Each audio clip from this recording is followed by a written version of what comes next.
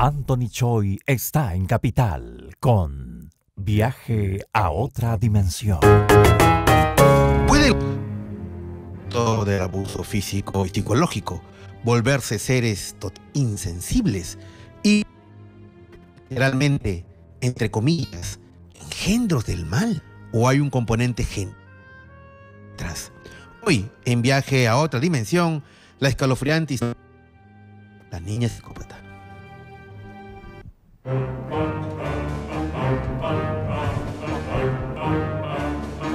Hola, soy Anthony Choi y este es tu programa Viaje a otra dimensión a través de Radio Capital, la radio del Lima, el programa número uno de la noche limeña. Bien, queridos amigos, empezamos el episodio de Viaje a otra dimensión con un tema que tiene que ver con respecto a un caso muy extraño que durante la década de los 80 se realizó inclusive un documental acerca de una pequeña niña, de unos 8 años, 10 años, que eh, empezó a tener comportamientos extraños y de, repente empezó a realizar cosas realmente inexplicables para su edad. Empezaba a torturar, a matar animales, empezó a torturar a su pequeño hermanito. Eh, y de repente los padres adoptivos empezaron a, tratar de llevarla a un tratamiento psicológico a esta pequeña niña que se llamaba Beth, ¿no es cierto? Y eh, de repente se dieron cuenta que ella eh, había como una suerte de explicación para lo que ella tenía, que era una niña en la, que, en la cual no tenía la más absoluta, absoluto sentido de la bondad, del bien, era una niña que no tenía ninguna empatía por ningún ser humano. E inclusive en una entrevista que le hacen, le señalan y le dicen, eh, ¿y tú eh, qué le harías a tus padres? Y ella dijo, matarlos. O sea, era un engendro del mal, era una niña que había, que había pasado en su pasado, eh, qué había sucedido detrás de todo. Esta noche vamos a tratar acerca de este tema. Eh, eh, vamos a tener a dos destacados especialistas, dos psicólogos, que van a abordar de diferentes puntos de vista el tema de eh, esta niña que en realidad es una verdadera psicópata.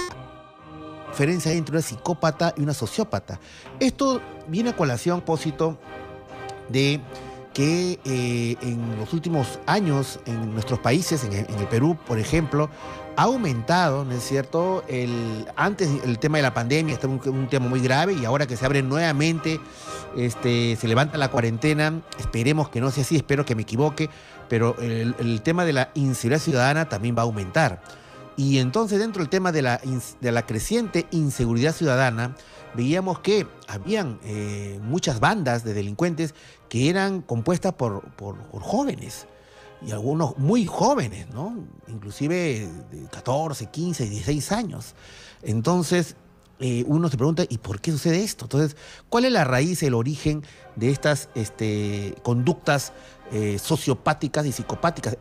sabemos, por ejemplo, un, dato escalofriante, que muchos de los sicarios en las bandas son jóvenes y que en muchos barrios populares, inclusive, hay toda una, todo un culto a la violencia ¿no? Eh, de repente en, simbolizados en determinados ritmos musicales, en determinadas letras, en determinados tatuajes, en determinada forma de vestirse, de hablar, y que hay todo un culto. Inclusive uno puede ver eh, en, algunas redes eh, de estos chicos, estos muchachos, en que ya muy jóvenes se fotografían.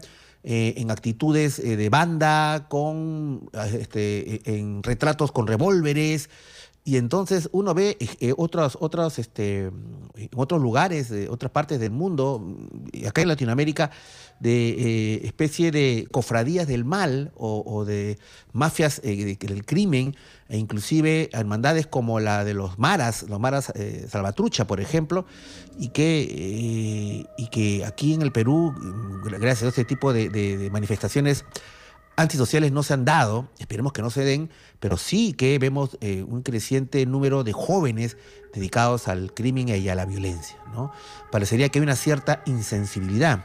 Entonces no está tan lejano este caso, puesto que esta noche estamos tratando este tema, este tema emblemático de una niña muy pequeña que no tenía el, mayor signo del bien, de la bondad.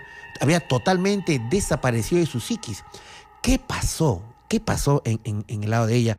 ¿Qué, es lo que ha, podido suceder para que ella eh, se comporte eh, de esa eh, manera. Por eso que esta noche vamos a tratar de Beth, la niña sociópata, cópata, ¿no es cierto?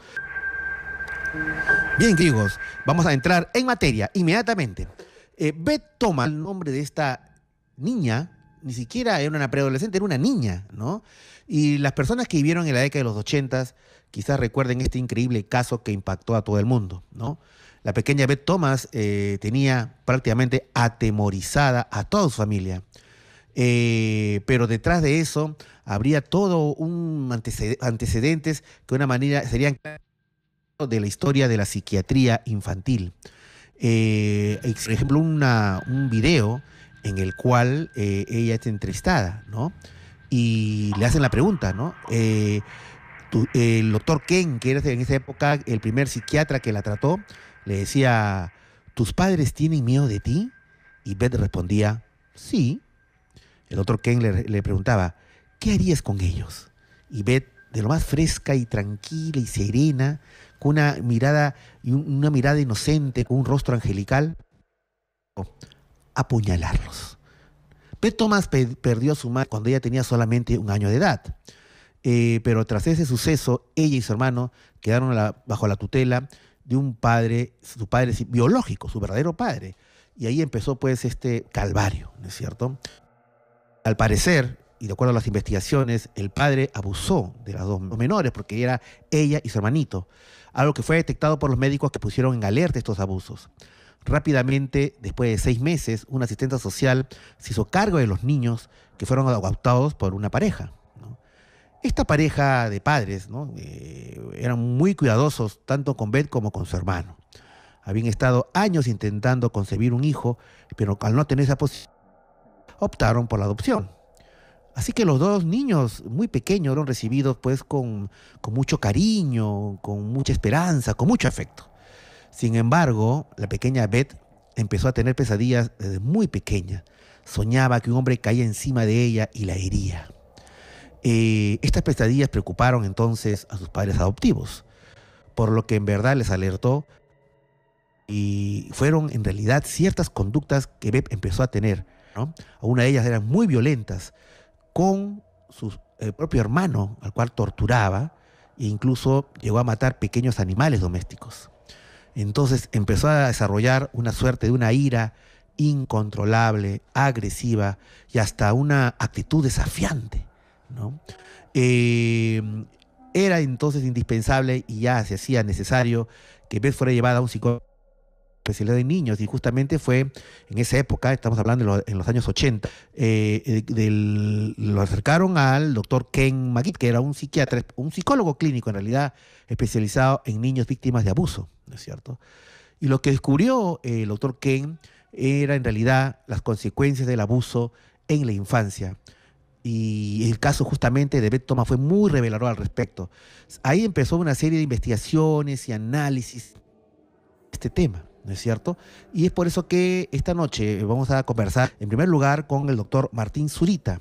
Él es destacado psicólogo para tratar este caso de eh, Beth, la niña psicópata.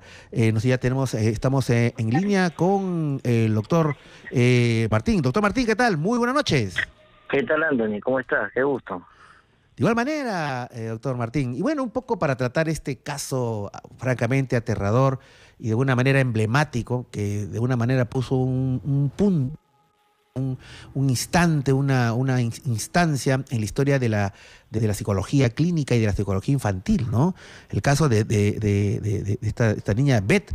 Eh, ¿Qué datos tiene que nos podría contar con respecto a este, a esta, a este caso en concreto? de, esta pequeña a la cual se le llamó la niña psicópata, eh, doctor Martín?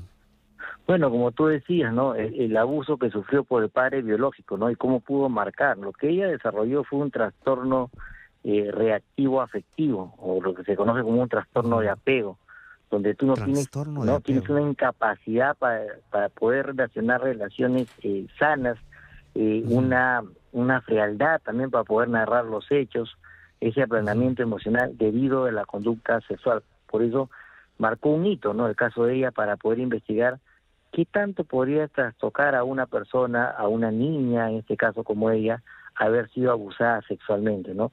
Tenía mucha ira, como podemos ver cuando no eh, hacen el video, pero cuando tú ves una persona con mucha ira, lo que hay en el fondo es mucho miedo y dolor también. Ella tenía dolor por lo que lo habían ocasionado y ella quería que las personas que estén a su alrededor también sientan ese dolor que ella sintió en ese momento cuando fue pues abusada por el padre. Ahora, eh, doctor, eh, yo entiendo en la historia de, Beth Thomas que eh, este, abuso lamentablemente empezó cuando la madre falleció y quedó pues estos dos niños a, cargo del padre biológico, un padre que aparentemente tenía problemas de y todo lo demás. Pero yo lo que entiendo es de que esto fue comenzó donde era, era, muy, muy pequeña, ¿no?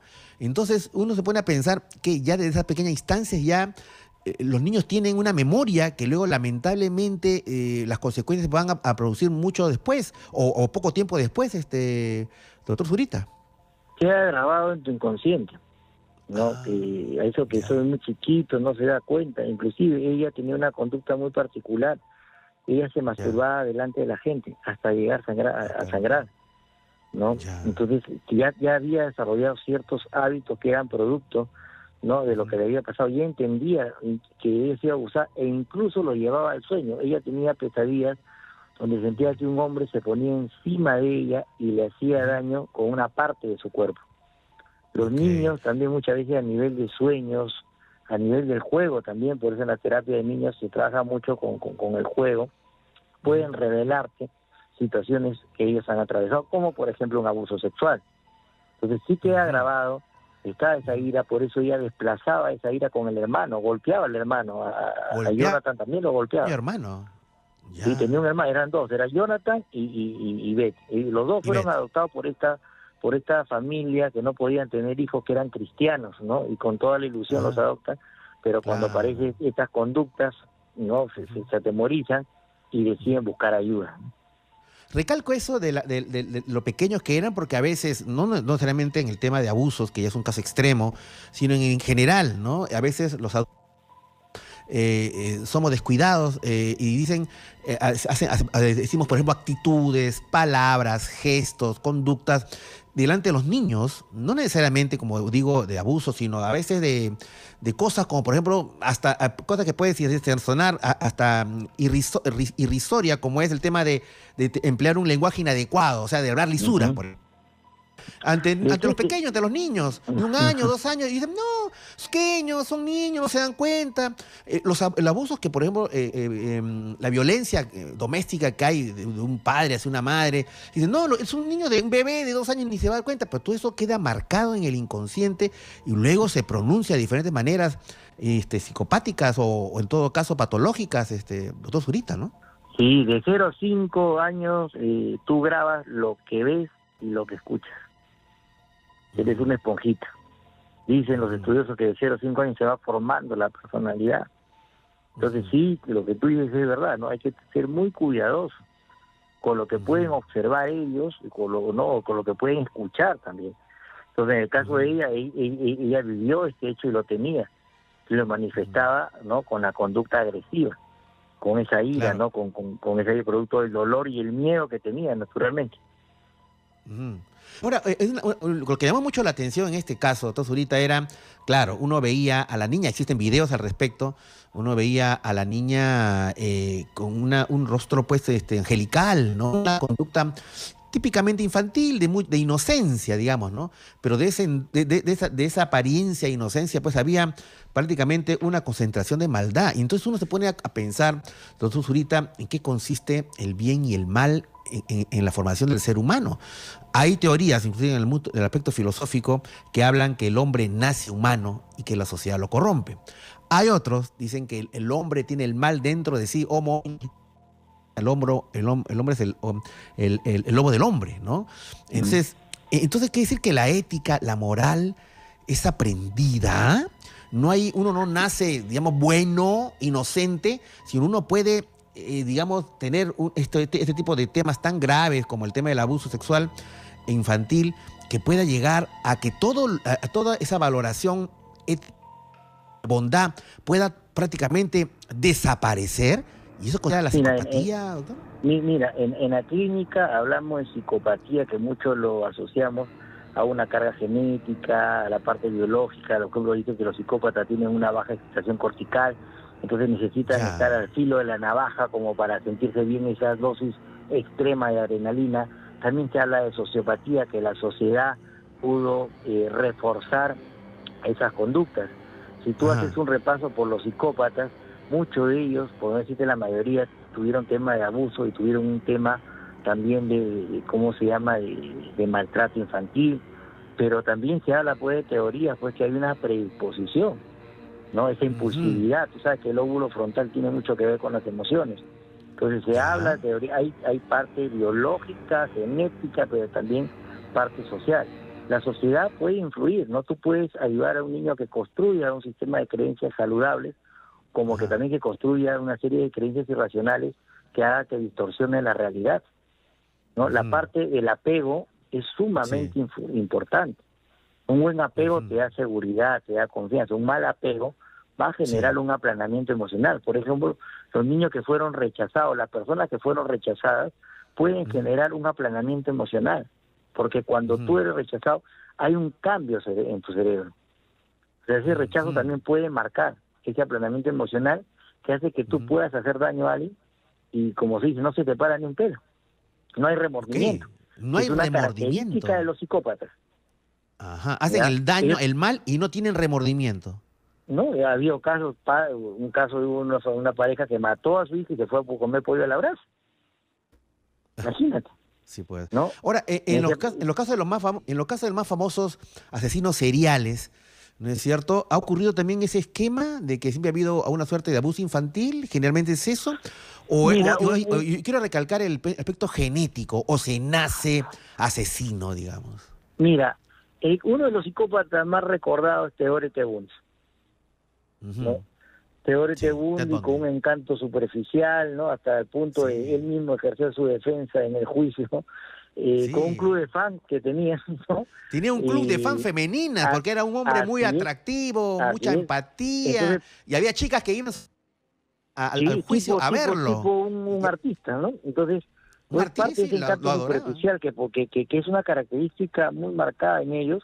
Son personas eh, con un coeficiente intelectual muy alto, por eso pueden, manipular también muy bien la situación. Pero en el caso de él, por ejemplo, no, él crece sin papá, el abuelo lo cría con la mamá, el abuelo era sumamente agresivo y el abuelo lo induce al mundo de la pornografía. Ajá. ¿No? Y si, por ejemplo, eh, en los psicópatas, eh, en estos asesinos seriales, entonces una revisión, muchos de ellos han tenido un abuso de la pornografía. Cuando una persona hace un abuso de la pornografía, hay serios cambios en tu cerebro, serios cambios en tu personalidad. Porque acuérdate que la pornografía lo que te lo que te propone es cosificar, en este caso, a la persona como un objeto volverla una cosa, ya no es una, mujer o un hombre, ya no, es un ser humano, sino es una cosa. Y una, cara, y una característica de cómo se llama del psicópata que te cosifica. Por eso, como tú eres un objeto, te usa, entonces llega un momento que ya no le sirve, te desecha. Te desecha, y no tiene te, te, aboya, te, rompe. Claro. Pero lo que usted dice, doctor, es muy grave porque nosotros vemos que en los últimos tiempos, en las, en las generaciones actuales, hay una hipersexualización. O sea, vemos que ritmos de moda, ¿no es cierto? hay una cosificación evidente de la mujer y del hombre también, lógicamente, pero también de la mujer, ¿no es cierto? Este, mm, hay los videojuegos, eh, eh, se ganan puntos mientras más gente se mata. Claro que son videojuegos, son juegos, pero digo, yo, eso puede influir en, la psiquis de la persona. O sea, y el tema de la pornografía. Yo recuerdo que en mi época, eh, recuerdo, este, si alguien, a un, a un chico travieso llevaba un librito un librito, una revistita escondida puede ser expulsado del colegio, ¿no? Y, eh, en la, en del recreo, en la parte final, el famoso, los famosos este, chistes de Quevedo, de Jaimito, a, ese nivel. Ahora, mediante el internet, eso es totalmente libre y, la mayoría de los padres, bueno, ahora con la cuarentena no tanto, pero cuando no había cuarentena, los padres salían a la calle y los chicos se quedaban pues a solas con su computadora, con su laptop, con su tablet y con total acceso a cualquier cosa.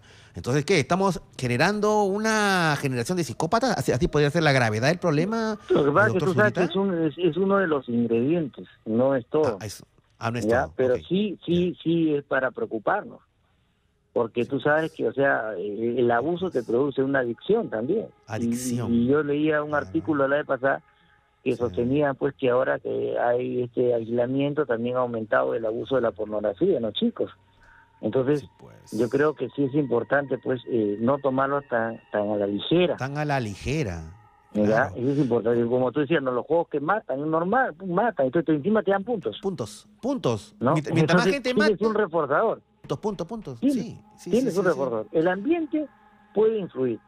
Se habla también de la parte genética, sí. Por ejemplo, un psicópata, Pedro Rodríguez, que le llaman Pedriño, que fue condenado pues, a 128 años de cárcel. Él, él se dice la historia que cuando su mamá estaba embarazada, el papá también era un psicopatón, un delincuente, golpeó la barriga de la mamá, ¿no? Y parece que golpeó el lóbulo frontal y eso también originó pues que él tenga esa prejuicio, un, un asesino serial que iba a matar a más de 71 personas, ¿no? Wow. Entonces, Wow. ¿cómo se llama? También ahí, ahí en este caso es la, la teoría genética, el papá también tenía ese comportamiento. Entonces, yo Mm. creo que no podemos eh, definir un solo, o sea, cada historia es diferente. Puede ser algo social que contribuyó, pero también podría ser la parte genética. Sí, justamente eh, estamos nosotros viendo la posibilidad de hacer el, la prueba semana programa acerca de un caso que, justamente un investigador colombiano me pasó el dato, yo no sabía eso, de que según este investigador colombiano, ¿no? Eh, el mayor asesino serial de la historia está libre y está en Sudamérica. Dice que es un, este, es un asesino que es, me parece, de origen, creo que sí, colombiano, que había matado más de 300 jóvenes, 300 jóvenes, y que por errores del, Poder Judicial eh, de ese país, este, lo dejaron libre. Y entonces desde hace 10 años le han perdido el paradero. No se sabe dónde está, ¿no? Pero lo más probable, que según las investigaciones señala, que estaría en Sudamérica. Y justamente o está en Colombia, o está en Ecuador, o está en Perú. ¿No? Entonces es un tema ahí que, que está pendiente y, y muy peligroso, pero yo lo que, y, para terminar esta interesante comparación con usted, doctor Zurita, es eh, qué invocación daríamos a, estamos en época de cuarentena y época en que hay mucho contacto familiar también, ¿no es cierto? Y la oportunidad de conversar con nuestros hijos, con los menores, tener ese acercamiento, ¿no? Que a veces en otra época no se puede. ¿Qué consejo daría usted a, lo- a todos nuestros oyentes de que no, eh, claro, no eh, yo siempre va- voy a pensar que este caso de Beth Thomas fue un caso excepcional, un caso único, Claro. que, pero mm, que, que, eh, con el peligro que no se masifique, habida cuenta que han cambiado las condiciones de nuestra sociedad en la que tenemos acceso a todo tipo de información buena y mala. Entonces, ¿cuáles serían los consejos que habría que hacer a los padres de familia, ¿no? que están escuchando el, el programa? Y también, como no, a los jóvenes, ¿no? Yo creo que para todas las personas que nos están escuchando, ¿no? Qué importante es tener un buen apego con nuestros hijos, ¿no? Con las personas que tenemos al lado. Cuando los chicos no hacen contacto, un buen contacto, un buen apego con uno, hacen contacto con otras cosas, drogas, diferentes tipos de adicción, que te puede llevar a una conducta psicopática. Entonces yo creo que la mejor forma de hacer un apego saludable es entrar al mundo de los chicos.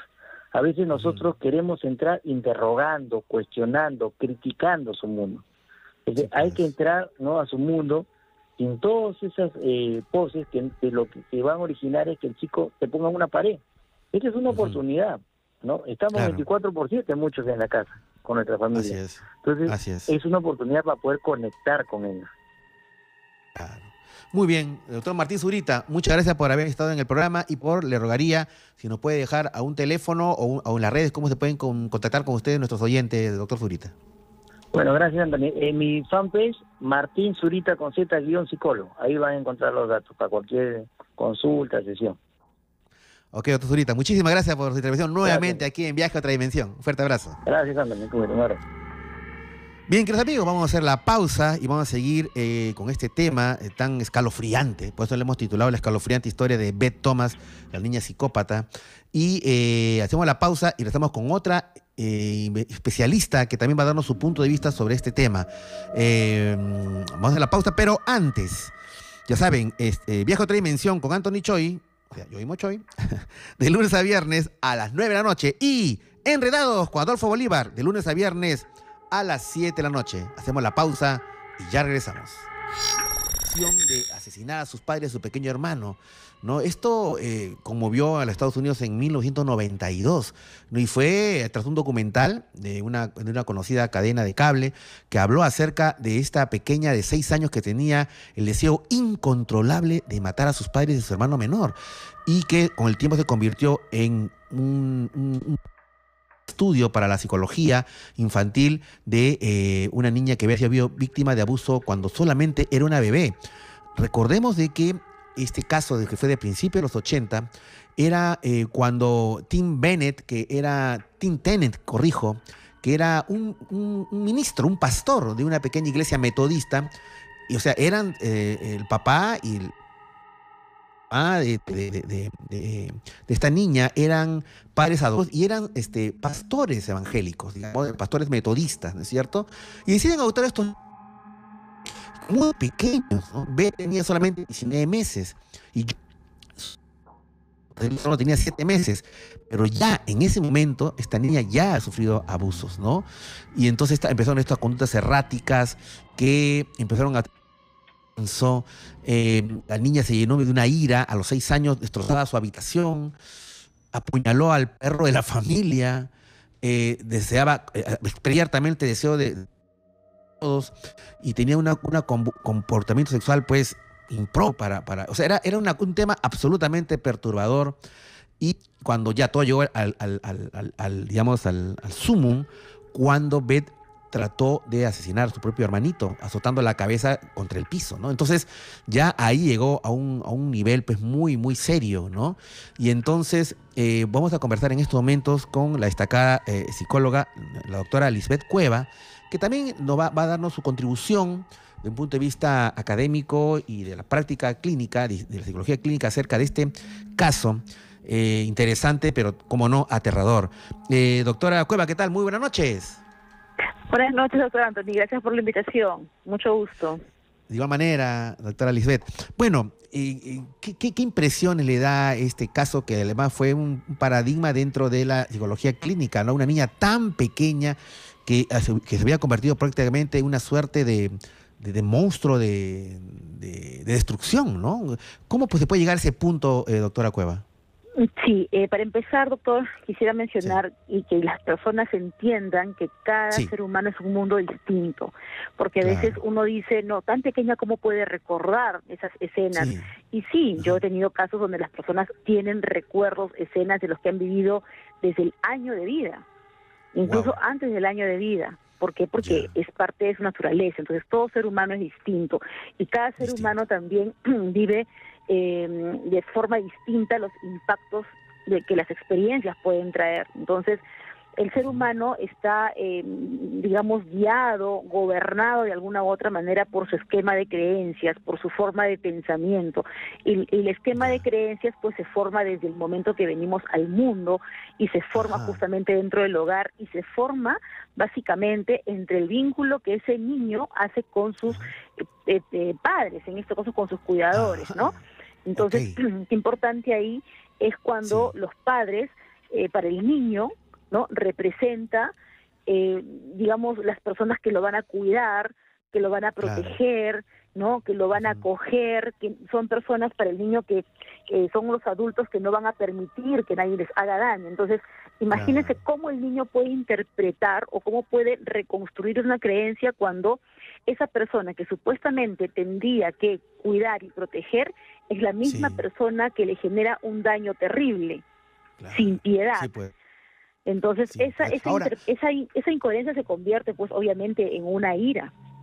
Claro. Ahora, eh, doctora Lisbeth, ¿qué piensa acerca de esas teorías, no sé hasta qué punto sean válidas, de que así como el, niño puede recibir esta, esta información en su psiquis, que luego la hagan convertir, pues, eh, su ira posteriormente, pero que inclusive podría esto recibirlo dentro del estado o sea, cuando todavía ni siquiera ha nacido, digamos un que pueda tener eh, ocho meses, siete meses, a ese nivel de, estado fetal puede recibir esta información, esta, esta, eh, por, darle un ejemplo, ¿no?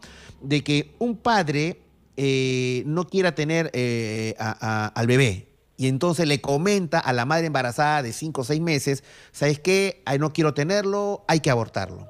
y de repente con el tiempo se arrepiente y dice, bueno, hay que tenerlo. El bebé nace y nace con una cierta animadversión al padre.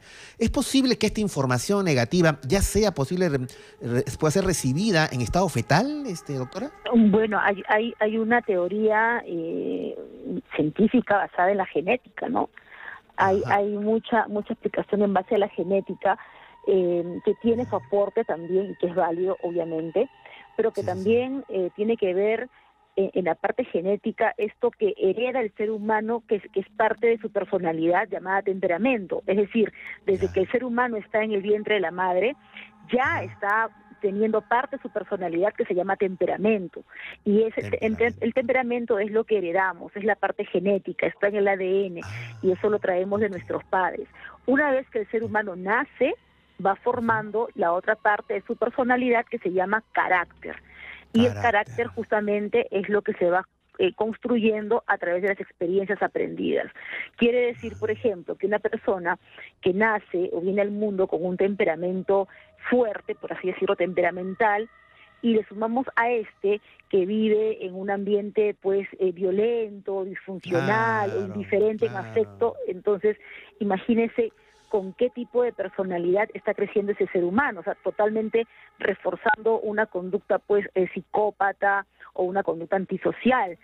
Entonces ya ya nace en el ejemplo que usted dio de, este de, este rechazo, porque es un rechazo del padre, ¿cierto? En un principio, e, ese niño puede venir con esa con esa eh, digamos eh, carga, ¿no? De, ese el rechazo en realidad es algo que marca al ser humano. O sea, tanto de, de, niños y adultos afecta. Si a un adulto le afecta el rechazo de una persona, el rechazo afectivo, imagínate en un niño. Imagínate en un niño cómo puede afectar todo esto, ¿no?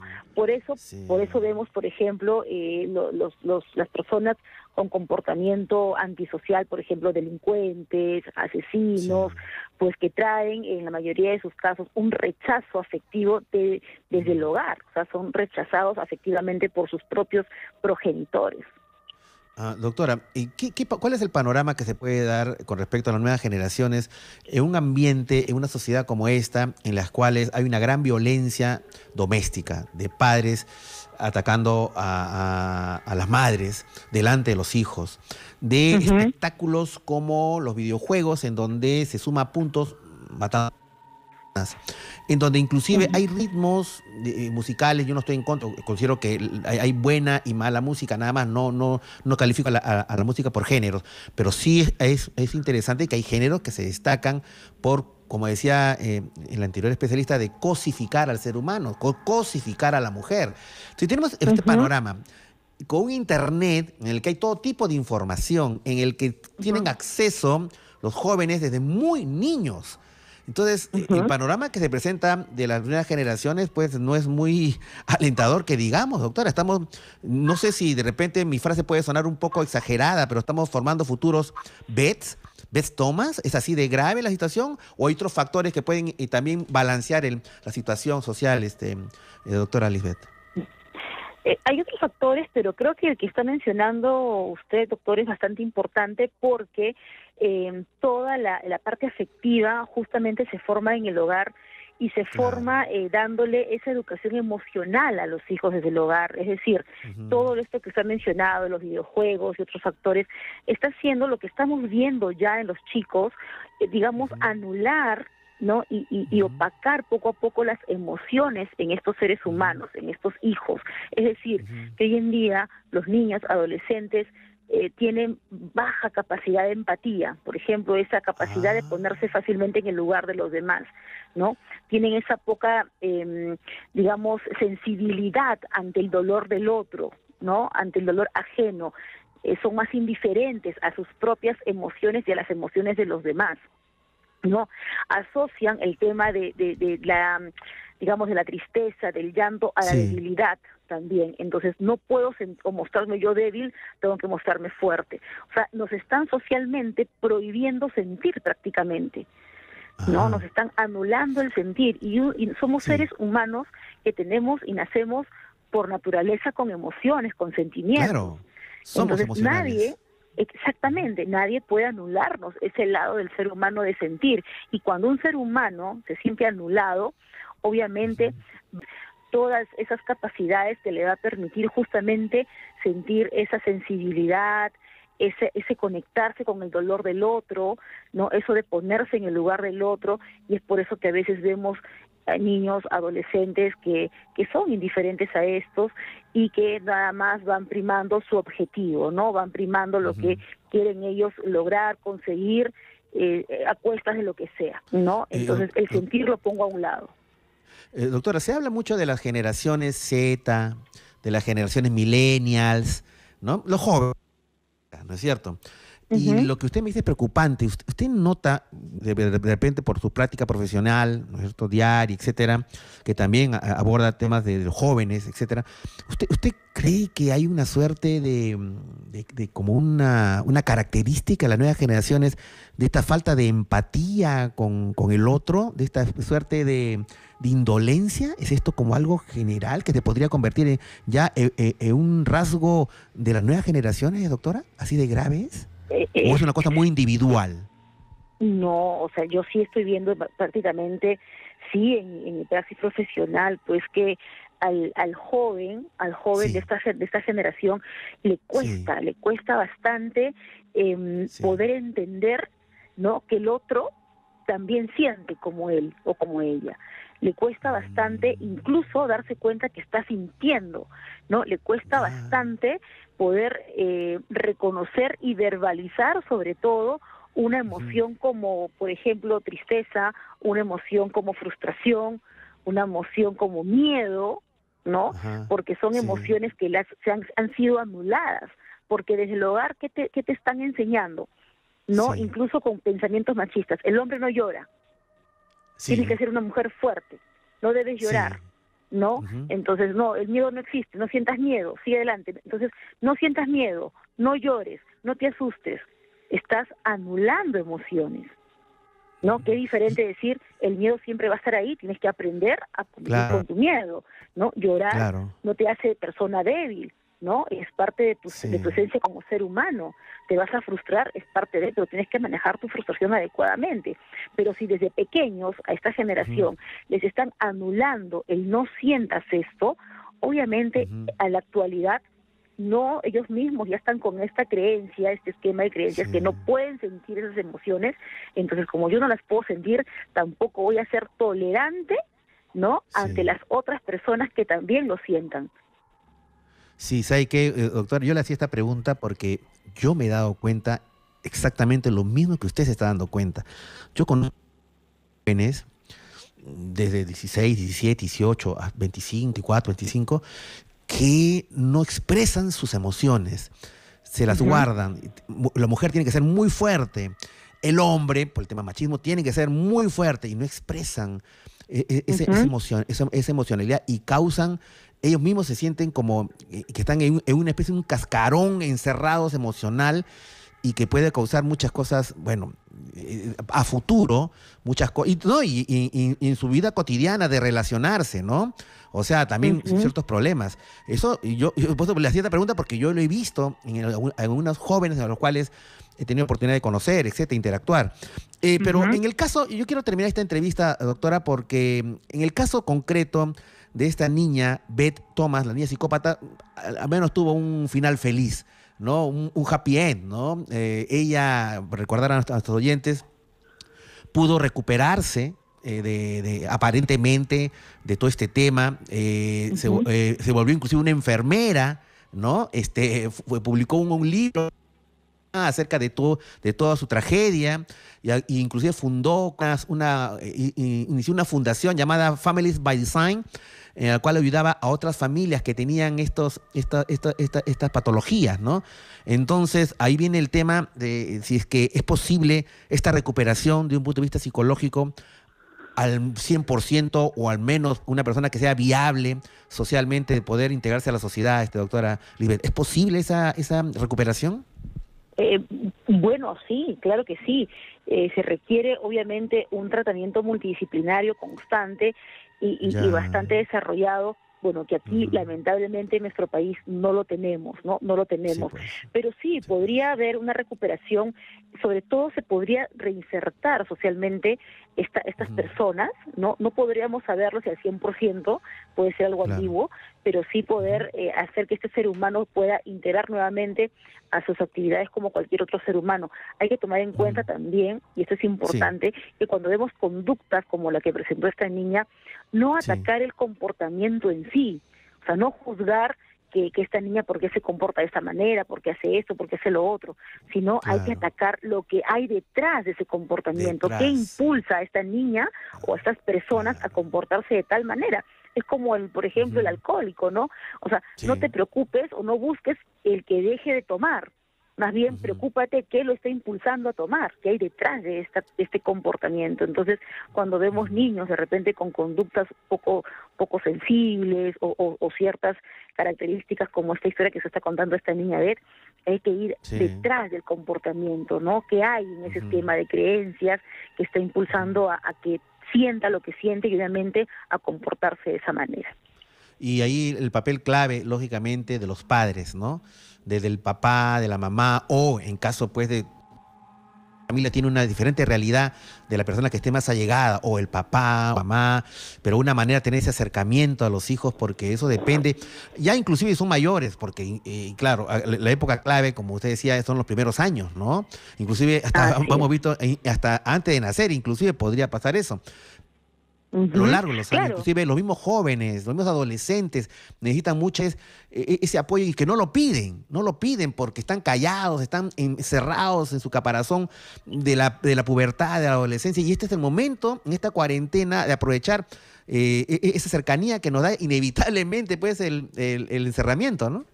Así es, y no solamente la cercanía, doctor, también es importante el asumir responsabilidad del tipo de persona o comportamiento que mi hijo está hasta el día de hoy desarrollando. Porque qué fácil es decir, ay, mi hijo es esto, esto, esto, esto, pero yo como padre o como madre, ¿qué asumo? O sea, ¿de qué me hago responsable? Uno. Y número dos, si yo como adulto estoy buscando también ayuda profesional para poder, digamos, eh, curar mis propios demonios o mis propios temas pues. inconclusos desde mi propia infancia. ¿no? Porque esa, ese, ese, ese resentimiento, esos eh, de repente rencores que puedo traer desde mi infancia es lo que también voy a proyectar a mis hijos y al final se vuelve una pues. cadena interminable. Sí, sí, y hay que romper esa cadena. Doctora Lisbeth, eh, un gusto haber tenido en el programa. Muchas gracias nuevamente por su contribución a Viaje otra y también le pido, por favor, a, nuestros oyentes que la han escuchado, podrían recurrir a usted en, las redes en las que está. ¿Cómo podría tener ese acercamiento, doctora?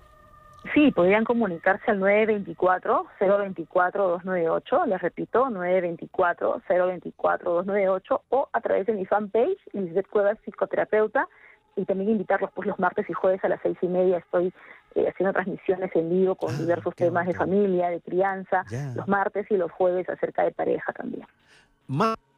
Jueves a las seis y media, ¿en dónde la, podemos escuchar eh, o mi Fanpage, mi fanpage Lisbeth Cueva, psicoterapeuta, Lisbeth con Z y TH, Lisbeth Cueva, psicoterapeuta. Muy bien, doctora Lisbeth. Muchas gracias por su contribución al programa. Gracias. gracias. Bendiciones para todos. Cuídense bastante. Ok, buenas noches. Bien, queridos amigos, hemos tratado este tema eh, y a mí lo que me preocupa es que, claro, uno puede decir, eh, es un caso excepcional esto de la de ver la niña psicópata, ¿no? Como una cosa de, que qué horrible, que monstruo que pasó, qué sucedió, ¿no? Un caso único. Pero a mí no me parecen las condiciones que se dan para que, la, estemos en la sociedad actual esté engendrando, ¿no?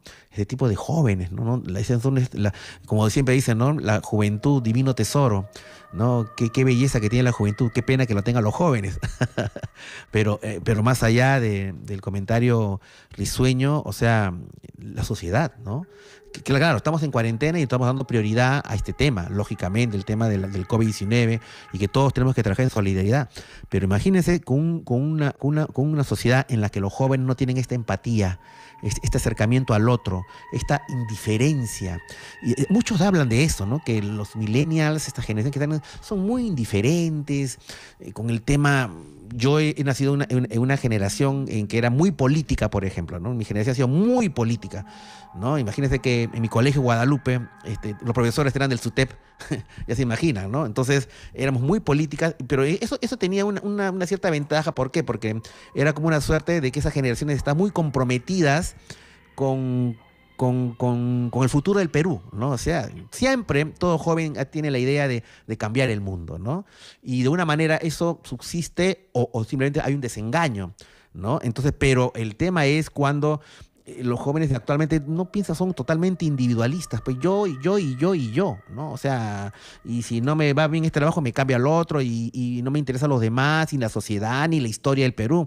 A esto se suma, por ejemplo, que en los colegios eh, yo recuerdo que en, mi, época de colegial había el curso Historia del Perú. Mm, así. Historia universal. Ahora todo como que se ha achicado, se ha reducido. No solamente que hayan cambiado los nombres, la currícula. Eh, me acuerdo que había formación eh, OVE, orientación básica del educando, formación laboral para el trabajo, ¿no? Han cambiado las cosas, han mejorado muchas cosas, pero en general la educación pública, ustedes saben, ¿no? Como la salud pública, ¿no? Está, está muy, pero muy mal. Y, y la verdad que el Perú, el Perú, es un pueblo tan noble que no merece esta realidad, ¿no es cierto? Y nuestros jóvenes no merecen tampoco eh, eh, que tengan este tipo de influencias, ni tampoco que eh, sean indiferentes, ¿no? Yo, yo siento que todavía hay la posibilidad de, hacer el cambio y eso tiene, debe de arrancar desde el hogar. Así yo sé que el hogar, las, necesidades económicas, tienen que salir los padres a trabajar y dejar los chicos solos, pero ver la manera con los abuelos, con, la tía, qué sé yo.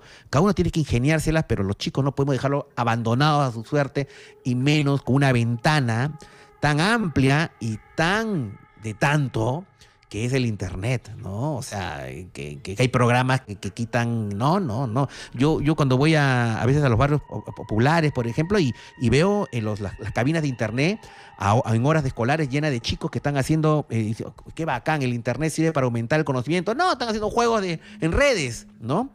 Y yo he conocido este, adultos que, han, que sus esposas se han divorciado porque ya adultos han seguido con los juegos de redes y no pueden controlarlos, han vuelto adicciones, ¿no? ludopatías, ¿no? Entonces, eh, hay, que, eh, que, este, que, esta cuarentena, que estamos todos en, casa, nos sirva para reflexionar, ¿no? Para, para ver cómo vamos como sociedad, como familia, cómo vamos con nuestros chicos, con nuestros, con nuestros hijitos, nuestros hijos, ¿no? ¿Cómo vamos? ¿Cómo va el tema? No, eh, ahí no, no, es necesario que, que, haya recursos económicos, no, hay cosas que son, son gratis que simplemente tomar atención, saber escuchar a los chicos, propugnarles eh, la comunicación, el diálogo, es algo que es gratis, no que no, yo trabajo, no tengo tiempo, eh, no, no, no, no, no, hay siempre un tiempo, siempre hay un momento para hacerlo, porque si no, ¿cuántos bets podrían estar surgiendo?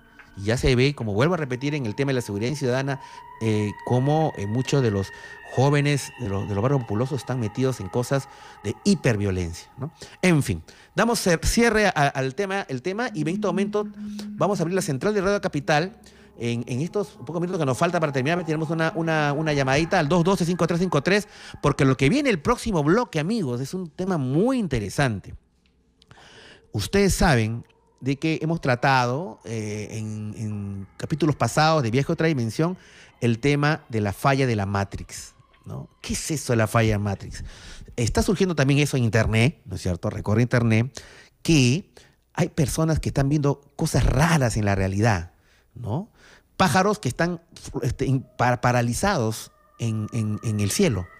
¿No? Jugadores que están jugando se caen y, se paran, pero no se paran normalmente, sino como si retrocediera el video. ¿Cómo es posible que pase eso? Hace poco tuvimos un caso, en que en viaje a otra dimensión, de un joven que estaba totalmente inmóvil durante una, transmisión de, un, canal de televisión que estaba transmitiendo, bueno, la intervención policial por el tema del COVID-19 a un mercado. Y toda la gente, como los ambulantes corrían, la gente estaba comprando.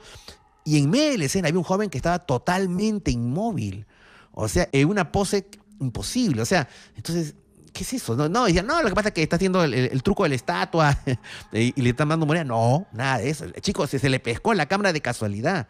Y toda la gente se movía y él estaba totalmente inmóvil. O sea, eso. Ahora resulta, amigos, que ha, eh, habido un caso que justamente vamos a tratar en el, próximo bloque de unos jóvenes que han visto algo imposible.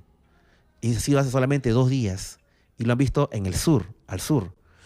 Este, un avión que estaba totalmente en el aire, pero totalmente inmóvil.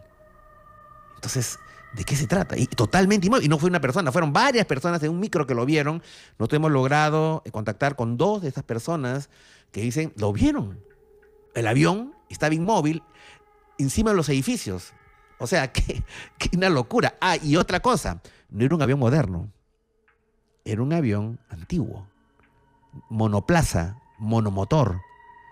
Entonces, ¿qué? ¿Hay un portal del tiempo? ¿Pasó un avión a esta época? ¿Qué hay detrás de todo eso?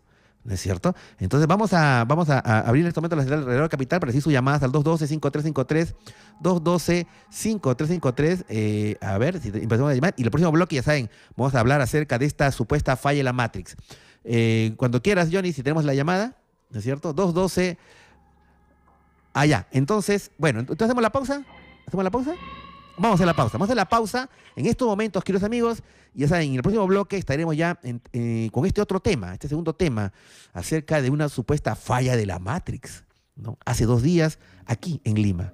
Pausa regresamos. Hola, soy Anthony Choi y este es tu programa eh, Viaje a otra dimensión a través de Radio Capital, la radio de Lima, el programa número uno de la noche limeña. Bien, eh, hace unos años atrás eh, se estrenó una película que marcaría un antes y un después dentro del cine de ciencia ficción. Matrix, Matrix, ¿no? Dirigida por los hermanos Wachowski, ¿no? Una película de ciencia ficción, de acción, que creó además toda una forma de ver, de, las escenas, ¿no es cierto? Estas en cámaras lentas, ¿no es cierto? Eh, de, muy, muy, muy estética además, de estos Smiths, hombres de negro, ¿no? que atacaban a Neo. Pero ¿cuál era el basamento detrás de, la historia de Matrix? Te decía de que esta realidad, vamos a tratarlo de una manera a todos nuestros oyentes, ¿no? que no es una realidad verdadera, que en realidad nosotros vimos una falsa realidad que esta realidad cotidiana en la que hay calles, edificios, cielo, tierra, mujeres, radio, televisión, todo eso es creado. Vivimos estuviéramos dentro de un, juego, vamos a decir, un juego de computador o dentro de una realidad creada en una gran computadora, ¿no es cierto? Entonces, que la verdadera realidad es otra, que que ahí en la película se ve que le da una pastilla, ¿no es cierto?, para que veamos la, despertáramos viéramos la verdadera realidad. Y es ahí donde vemos una realidad en la que la tierra había sido destruida, en la que todo estaba lleno de tinieblas, en que había sobrevivientes que estaban luchando contra máquinas. Y entonces decía, esta realidad es una Matrix, ¿no? Es como si fuera una, realidad creada por computadora, como si nosotros fuéramos muñequitos o, o personajes de una gran computadora. Entonces surgió el tema en, los, Internet, en las redes, de la falla de la Matrix, que decía que si esto es así, era posible que fuera real. ¿Por qué? Porque ocurren eventos en los cuales, por ejemplo, en que eh, hay videos, ¿no?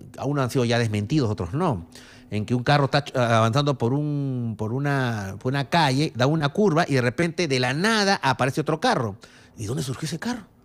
Si no se le vio venir, o sea, así en el video se vea, aparece un auto. Entonces, no, la, teoría es de que no, fue una falla de la Matrix. O sea, que esta realidad a veces tiene, así como a la vez cuando uno está en la computadora, uno no se falla la computadora, entonces también así igual puede haber que haya falla de la computadora y entonces la realidad como que se, hay fallas en, la realidad, ¿no? Entonces, vamos a conversar este, eh, en estos momentos pues con Hugo Espinal, no sé si ya lo tenemos.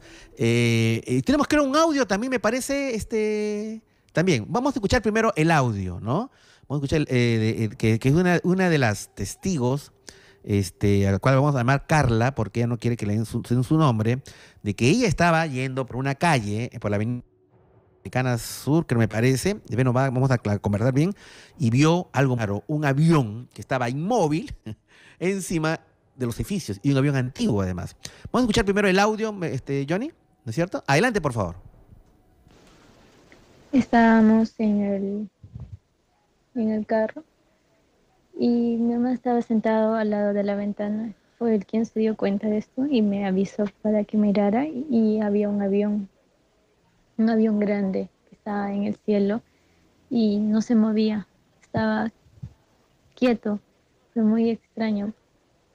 Eh, no eran como los aviones que uno cuando mira se ve que está súper lejos y se ve chiquito. No, este estaba muy cerca y no se movía realmente para nada, está ahí. Muy bien, ahora ese es una testigo, testigo uno. Testigo dos, tenemos a Hugo Espinal, que también nos va a contar acerca de, este mismo tema, este mismo incidente. Hola Hugo, ¿qué tal? Muy buenas noches. ¿Qué tal, Andrés? ¿Cómo estás? Muy bien, Hugo. Bueno, a ver, cuéntanos, ¿cuándo ocurrió esto? ¿A qué horas y en dónde, Hugo? Ya, eso pasó ayer. Eso pasó ayer. Ayer. Este, en El Salvador. Ya, eh, El Salvador. muy cerca del cruce de Pedro Miota, que es la C, con séptimo, me acuerdo cómo se llama esta avenida. Es Palara. O sea, en el, en el cruce de las avenidas Pedro Miota con Talara, en Biel, eh, Biel, Salvador, ocurrió ayer, 30 de junio. La hora más o menos, este Hugo, más o menos, ¿a qué hora serían? Más o menos entre 4, 4 y media, no recuerdo bien. Eso está muy cerca de Loma de Corvinas, como te comentaba. Y está, y ese es un tema muy interesante, amigos, porque ese está muy cerca a la zona del lomo de Corvina. Ustedes recordarán, amigos, que hace unos días atrás hicimos un programa acerca del incidente con Chan, en el cual en la década de los 70 mucha gente de Villa El Salvador vio cómo de la zona de Corvina salió como una especie de un bólido, un, rayo, una cosa así, que impactó en un ovni, el ovni cayó en el mar de Conchán y luego el ejército peruano, de acuerdo a los testimonios, rodeó toda la zona, eh, vía aérea, helicópteros, en tierra, tropas eh, del ejército y el, eh, pescadores que estaban en la zona. Bajó drásticamente la pesca y al día siguiente el que se había hundido emergió y salió. Y a partir de ese momento muchos de los testigos hasta ahora son eh, asediados, ¿no? Y nosotros tratamos este tema eh, justamente de, muchos testigos de Villa El Salvador. Pero bueno, volviendo al tema, porque esto ocurrió muy cerca ahí en, en, Lomo de Corvina, eh, Hugo. ¿Tú dónde estabas? ¿Cómo, fue? Este cuéntanos. Sí, cuéntanos cómo fue, tú dónde estabas y qué es lo que pasó. Mira, yo fui a recoger a mi hermana porque ella quería comprar un celular y estamos ah, este, cerca de Mall del Sur, entonces venimos ese día. A Mall del Sur. Yo vivo este, por Oasis de Villa muy cerca Oasis de Villa. Y cuando estábamos pasando por por esa avenida, el carro para, ¿no? Porque hay un paradero, la gente empezó a bajar y hay gente que empezó a seguir. Pero justo cuando para, yo veo para el costado y veo como que hay unos edificios, los tabales, eso. Y justo arriba, como digamos que el edificio es de cinco pisos, aumenta dos o tres pisos. Y a esa altura estaba una avioneta una avioneta. Un aeroplano, pero grande, o sea, se veía, se veía como, yo pensé que, o sea, cuando, cuando le di una mirada rápida, lo primero que pensé fue que esta avión se va, se va, se va a caer por acá, como que sobre está planeando bajito, pero, o sea, lo vi y, lo raro es que, que no se movía, pues estaba a esa altura, como que se va no a caer se movía. ¿no? se movía, estaba quieto y no hacía bulla, porque la gente mira, o sea, si es un avión así, una avioneta, supongo que debe hacer mucha bulla. mucha bulla. ¿Está, volando baja, bajo? Porque, a ver, vamos a ver. Estaba en una zona, me dice, en el cruce Miota con Talara. Me dices tú que en esa zona había varios hostales, edificios y este esta avión o avioneta estaba encima de uno de esos edificios de cinco pisos, pero estaba muy bajo y muy cerca. ¿Lo, viste así, este Hugo? Sí, sí. O sea, imagínate como como si un día estuviésemos en tu patio y pasa una avioneta muy cerca y ves todo, o sea, las llantas, todo, o sea, todo, o sea, con mucho detalle. O sea, ves una, una cosa enorme, o sea, así se veía. ¿Sabes cómo se No sé si has visto alguna vez una mecánica, hay algunas mecánicas que tienen como que, como un fierro y encima de ese fierro hay como una motito o un carro de juguete, pero de metal. Ya, algo así se veía como si tuviesen un avión de adorno, pero pero un, avión de adorno flotando ahí, pero un avión. ¿Estaba qué? Pero eso es lo que quería eh, preguntarte. Estaba volando, bueno, flotando, pero estaba, totalmente y, por un momento, o sea, quise como que ver qué fue, y si hay un cierre o algo, y qué loco lo que, lo que habrán hecho acá, ¿no? Pero, pero, o sea, no, no había nada. Estaba eso. Y me empecé a reír, me, o sea, me choqué un poco y le dije a mi hermana, y mi hermana se quedó así también como que... Mi hermana miraba, lo vio? pero los lados y nada. Y, y no reaccionamos en ese momento, pues. El carro, como te digo, o sea, paró en ese momento. En ese momento vimos que se quedó quieto, o sea, nos, tuvimos este, no sé, unos segundos para ver el avión y el avión no avanzó para nada, estaba ahí quieto y la gente ni se daba cuenta, pues. Y avanzó. Pero tú sí le pasas, tú sí le pasaste la voz a tu, a tu hermana. Claro, y mi hermana lo oyó también. Ya, ya, qué alucinante. O sea, pero qué, ella también se quedó así como que no, o sea, en un momento nos quedamos como que no, no puede ser, pues. ¿Qué, qué es eso? Y no se me ocurrió grabar nada, o sea, el carro avanzó y después, escucha, lo hubiera grabado. o sea, que como que el celular vi para atrás y ya no había nada. Claro, no pudiste, eso, eso, eso, no pudiste grabarlo, tomar una foto con tu celular, video, una foto. No, de repente, es, que, es que imagínate, no sé, pues es que es que es como, como lo, que la gente dice, ¿no? es muy fácil pensar que sí, ¿no? Es, algo alucinante y, y, vas a ver el celular, ¿no? Lo primero que, que piensas es que ni siquiera piensas es porque, porque es como que es demasiado alucinante, pues. Porque acá en la casa lo contábamos, le, contaba por ejemplo a mi viejo, y él decía, no, seguramente es una, un, un globo en forma de avión y, se han confundido. Ah, flotando, un globo eh, publicitario, publicitario, digamos, lo claro, inflado, al globo, ¿no es cierto? Bueno, ¿podría ser o no? Claro, o sea, es como lo, que la gente puede pensar, pero no, o sea, es así tan alucinante como te lo puedas imaginar, o sea, en un avión real, y de todo, no, no sale es una cosa loca. Eh, un avión que esté flotando en el aire, inmóvil y sin sonido. Ahora, dime, el modelo... o sea, había algunas personas, o sea, ahorita hay este, estado de emergencia y todo, pero hay algunas personas pasando, ¿no? Pero, o sea, un avión así haría mucho ruido, al menos la gente diría, oye, sí, definitivamente. pero no. Además, un avión volando tan bajo sería es muy peligroso, o sea, sí. Una avioneta, yo la veía como que, o sea, esos segundos fueron suficientes como que para ojear, ¿no? O sea, yo creo que cuando uno ve algo muy raro, lo primero que hace es mirar, pues mirar más de, sapo porque no te lo puedes creer.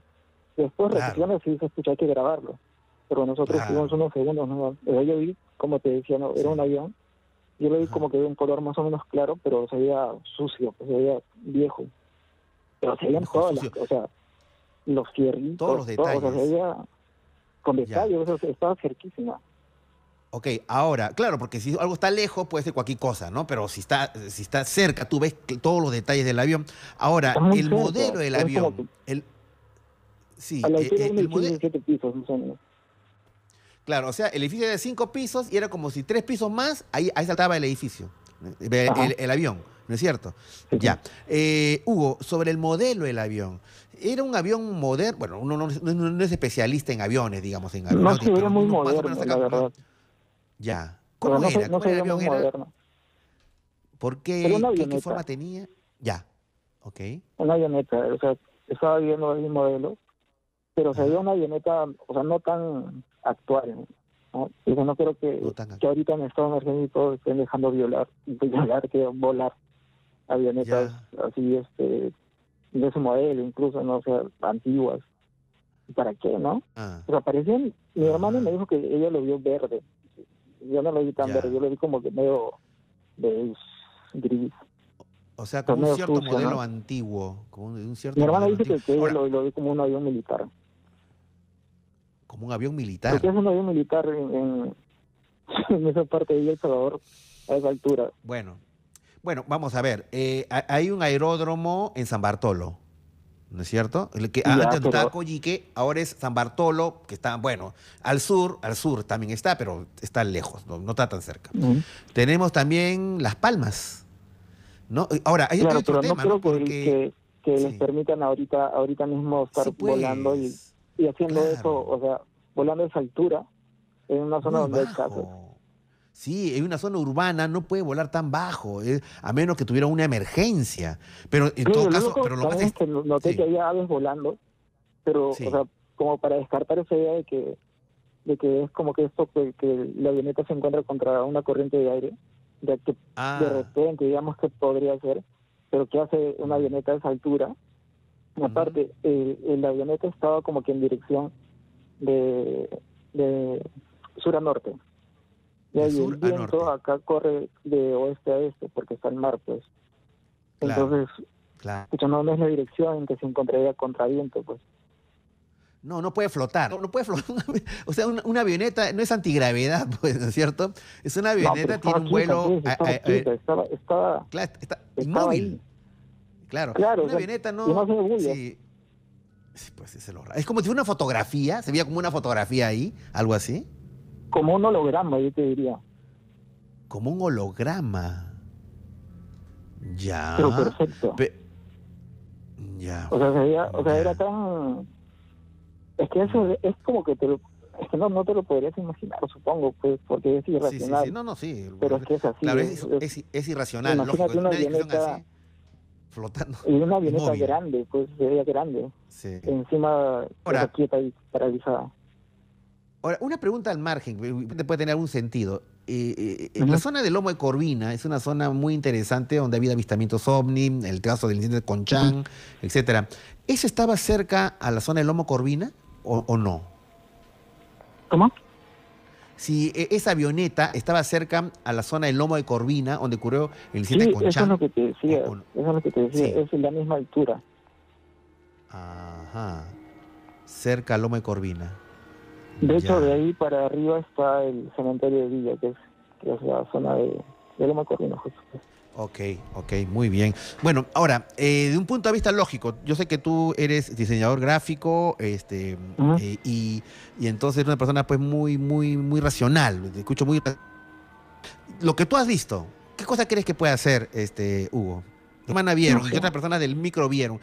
¿Qué cosa, qué cosa te podría hacer? O sea, racionalmente hablando, ¿qué podría hacer? O sea, yo estaba, eh, estaba tratando de ver la lógica de, de eso de que... Porque he visto, em- empecé a averiguar, pues es algo rarazo que, que ves y, y- y te quedas como con la duda, ¿no? Empecé a averiguar y, y vi que pasaban cosas similares con aviones, pero esto a alturas mucho más altas, pues. Y, y en contraviento, es como que se quedan quietos, igual con aves, ¿no? Pero Ya, el viento, como te digo, no viene en esa dirección, pues. claro. El viento salía como que de costado. Y aparte había Claro, no, pues no. Pero eh, aparte, lo que tú señalas es que estuviera el avión planeando, pero si el avión planea, tiene que moverse, no puede estar inmóvil. y o no sea, se bulle, pues. y, y no se bulla. O sea, que el motor con el motor bueno, puede planear con motor apagado también, Es que, pero es que la que gente, emergencia. o sea, la gente estaba muy normal. No, no es, no es que yo me di cuenta porque la gente estuviese mirando hacia esa dirección, ¿no? Yo simplemente estaba así como que mirando para el costado y veo un avión encima, claro. Es como que, Y además, y además, este, uno podría pensar, bueno, de repente es algo, una ilusión, una alucinación de, de, de, no, pues, de Hugo, pero, estaba con pero- mi estaba tu hermana también. Hemos escuchado eh, las declaraciones de ella, ah, ¿no? Hace un- unos momentos. Entonces, bueno, en fin. ella, ella lo- el- también está así como que, que, o sea, no, no puede entender mucho, pues se trata de, de, de darle una lógica, pero ya. No o hay, sea, no hay lo único que podemos hacer con esto es que, escucha, no, pues lo vimos y qué raro, Bueno. pero hasta ahí Qué raro. no nada. Pero, o que sea una falla de la Matrix. Sí, pues, yo tenía Ese una ya- teoría más rayada, pero justamente ya te comentaba eso en, en- en lo que te he comentado en los audios y eso. Pero- Claro, claro. Yo supongo Sí, que ten- bueno, en tiene algo que ver con, con lo que también han visto, ¿no? Loma de Sí, que, que eso ya vamos a ver, en otra oportunidad. Muy bien, muy bien, este Hugo. Gracias por tu aporte al programa. Gracias a ti y a tu hermana por el aporte a- a- al programa. Y bueno, lo, lo que podemos hacer en este momento es, si esto ocurrió ayer, ¿a qué horas me dices? A las a la- cuatro, cuatro y media. cuatro, cuatro y media. Entonces, este, lo que podemos hacer simplemente es eh, hacer una invocación a todas las personas eh, que, o de repente, yo creo que lo hacemos más formal, mi estimado Johnny. Yo creo que podemos hacer un lanzamiento de un Ah, ¿verdad? Otra, otra cosa que te Sí, decía es que sí. cuando llegamos a la casa, este, justamente le comentamos a mi hermano y, y a mi viejo usted. Y decían que sí, Ya. sí, habíamos escuchado que un, una, un aeroplano, algo pasó y que hizo un montón de bulla. Que pasó por acá, por la Ah. casa. O sea, es como que a veces pasan este pasan algunas naves, pues por hacer pasan a la altura que tiene que ser. Ya. Y justamente esa parte es más baja, o sea, acá es como que una loma, Mm. el promedio es como una loma, pero la Claro, parte donde, donde lo vimos es más baja, entonces tendría que haber incluso Mm. bajado a la, bajado de, de la altura donde Sí, estaba a una altura Mm. casi a lo de las casas que, que es como que por qué tendría que hacer eso un, un piloto. Sí, Pero, como- o sí, sea, pues, eh, no, que lo eh, vieron pasar, está volando muy bajo lo vimos estático ahí. Y después cuando volteamos No. ya no había nada. Ya- y no había nada, o sea, es una cosa muy sea, cuando rara. avanzó el carro como que hasta el hospital de emergencia, Sí, este, eh, vo- volteamos a ver si es que podemos grabarlo o tomar una foto o algo y ya no, no había ni, ni rastro de no había, no había nada, ¿no? Sí, pues. Bueno, muy bien, Hugo. Vamos a estar en contacto, estimado amigo, porque sé que también tienes otra información con respecto a otros temas, con la posibilidad de que haya un portal dimensional en, en Lomo de Corvina, pero eso vamos a hablarlo ya en, en extenso en otra oportunidad porque es otro tema. Hugo, muchas gracias. Gracias por, por, por estar en el programa a ti y a tu hermana. ¿ya? Un, un fuerte abrazo. Muchas gracias. Vamos a estar en contacto. Claro, y pero esto no queda ahí, vamos a, a- claro, claro, gracias amigo. Y voy a pedirle a Johnny a ver si lanzamos un ROA, ¿no es cierto? Para a ver si de repente otras personas el día de ayer han visto algo de, de- de esta supuesta falla en la Matrix, ¿no? Así que adelante con el ROA. ROA. Red de Observación Aeroanómala. Bueno, siendo las 10 y 23 de la noche, lanzamos el ROA, el Red de Observación Aeronómala, no en este caso porque he visto la- el avistamiento de un ovni, sino porque hay, hay personas que el día de ayer a las seis y media de la tarde, cuatro y media de la tarde, dijo, ¿no? Cuatro y media de la tarde, pudieron ver una suerte de una avioneta paralizada en la zona entre Pedro Miota y la avenida Talara, estamos hablando Vía El Salvador, a la gente de Vía El Salvador, a la gente de Vía María del Triunfo, a la gente de San Juan de Miraflores, a la gente de Chorrillos, toda esa zona eh, hacia el sur, si es que extraño eh, en alrededores de un avión que estaba totalmente inmóvil en la zona. Nosotros le damos la credibilidad a nuestros dos oyentes que nos han, que nos han contado esa experiencia y ver si otras personas han podido ver eso, han podido ver algo al respecto. En todo caso, ya saben, nos pueden llamar al 212-5353, 212-5353 y o nos pueden eh, también llamar, dejarnos audios eh, o mensajes o fotos o videos o, eh, o audios al, al WhatsApp paranormal 987-280-690. 987-280-690. En todo caso, estamos activando el ROA, la red de observación aeroanómala.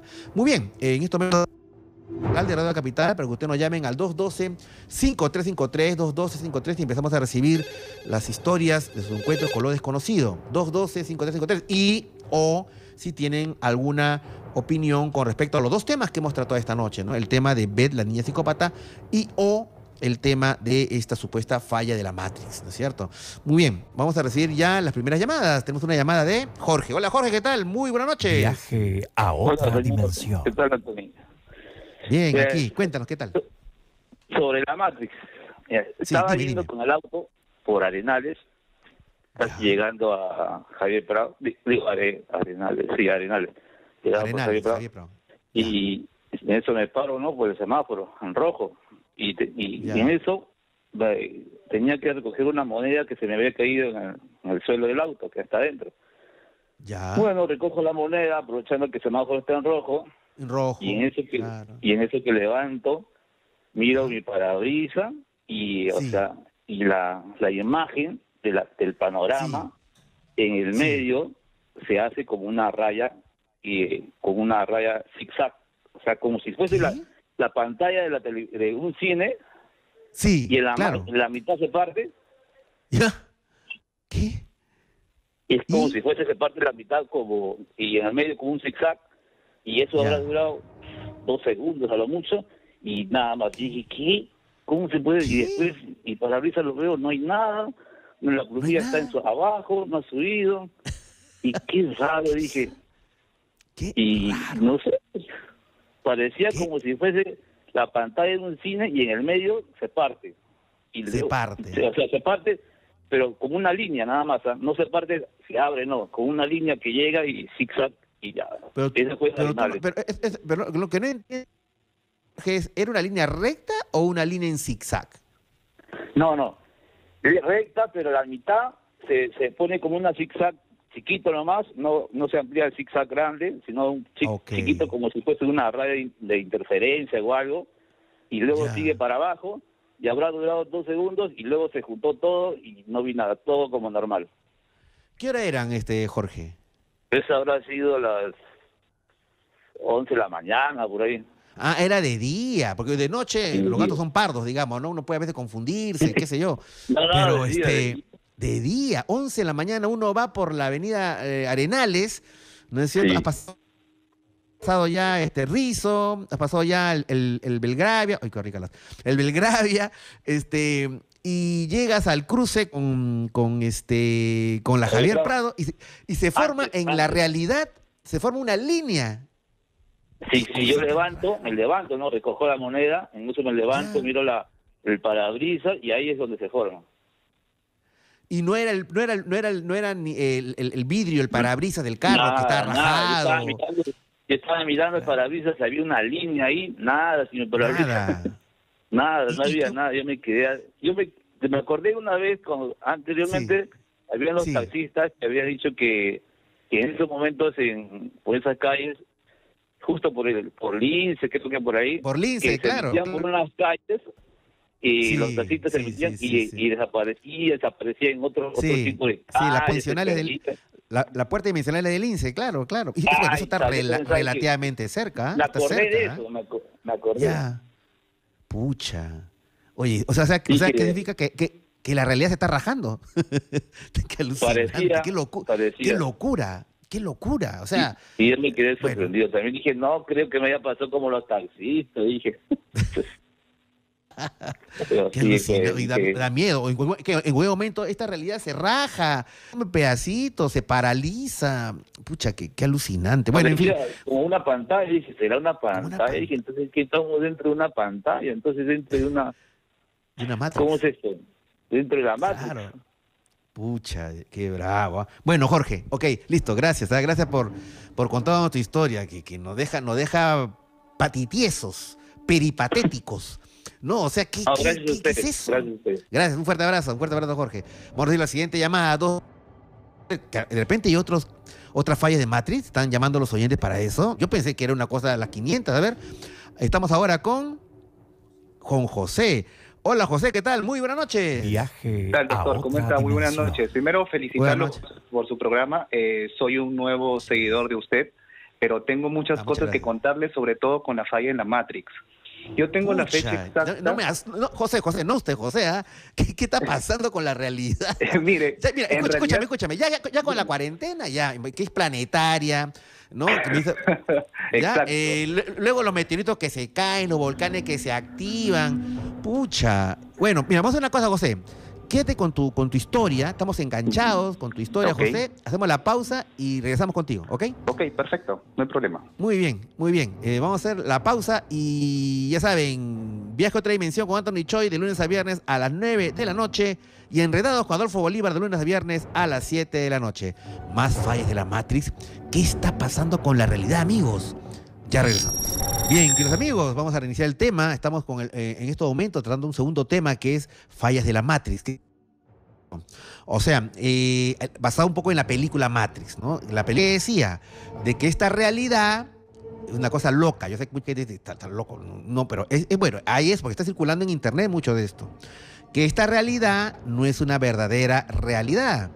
No es una realidad real, si es una realidad o sea, es una realidad armada en computadora. Así como cuando usted trae una computadora y ven un videojuego que todo es armado, los cerros, las montañas, el agua, la gente, las balas, todo eso, ya, esto sería como un videojuego. Una gran computadora hace la realidad. No, Anthony, ¿cómo es posible? Bueno, lo que pasa es que hay muchos testigos que hablan de que hay fallas de la Matrix, o sea, de esta realidad, cosas raras que ocurren, o sea, como si el tiempo se detiene, como si el tiempo avanza, como si el tiempo se quiebra, cosas que quedan paralizadas. Hemos hablado avioneta que los testigos parada en el, en el cielo. O sea, es imposible, pues, ¿no? Un avión no.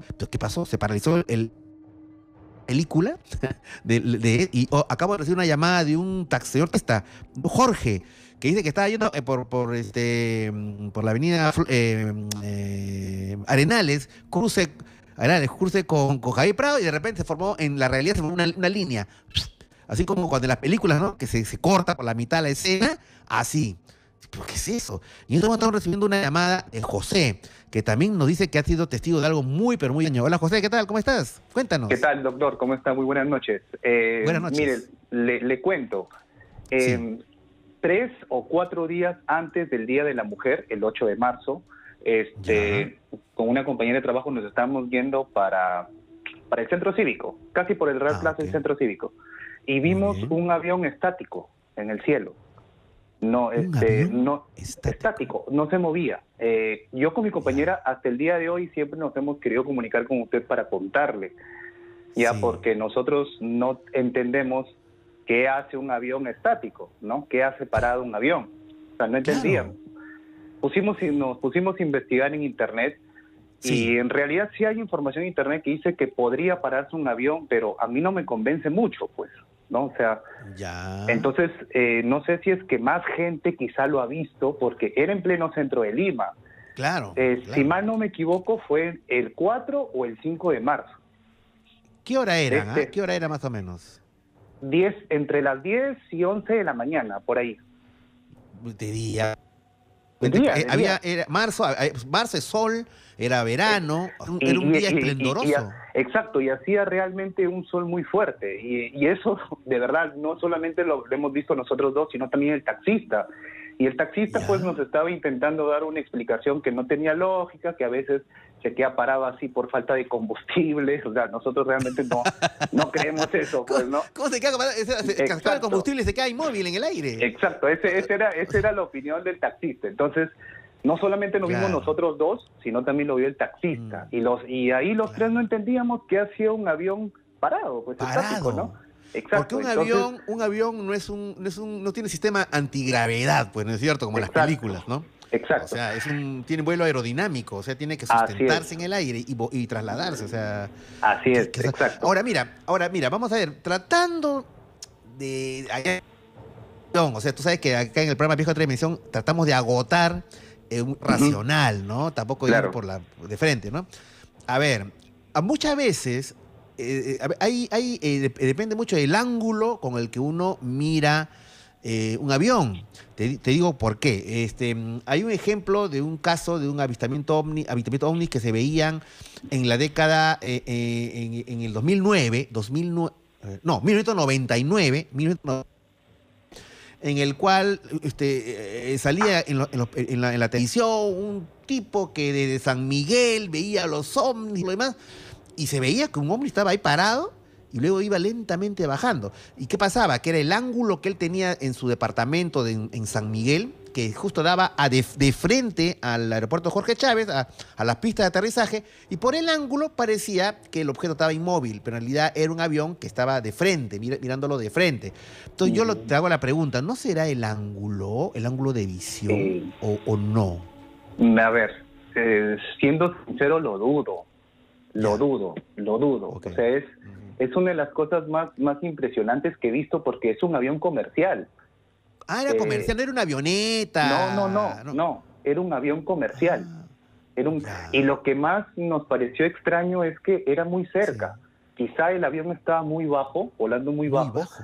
o nosotros estábamos muy cerca del avión, no sabemos. Bueno, estábamos ¿Cómo en un auto nosotros. Nosotros Claro, estábamos claro, en un moviéndose, auto. Exacto, moviéndose. entonces, este, pero para esto el, el auto ya, ya se había estacionado, creo que era luz roja, pero estaba estacionado el auto. O sea, Ya. Yo no creo el que punto de haya sido- observación estaba inmóvil. Exacto, Claro, el punto de no observación creo- estaba inmóvil. Así es. Yo no creo que haya sido desde el ángulo de nuestra visión porque, por Dios, el avión estaba ahí, no se movía el avión. Y yo estoy completamente, yo estoy completamente seguro, doctor, que más Sí. gente lo ha visto, porque es el centro de Lima.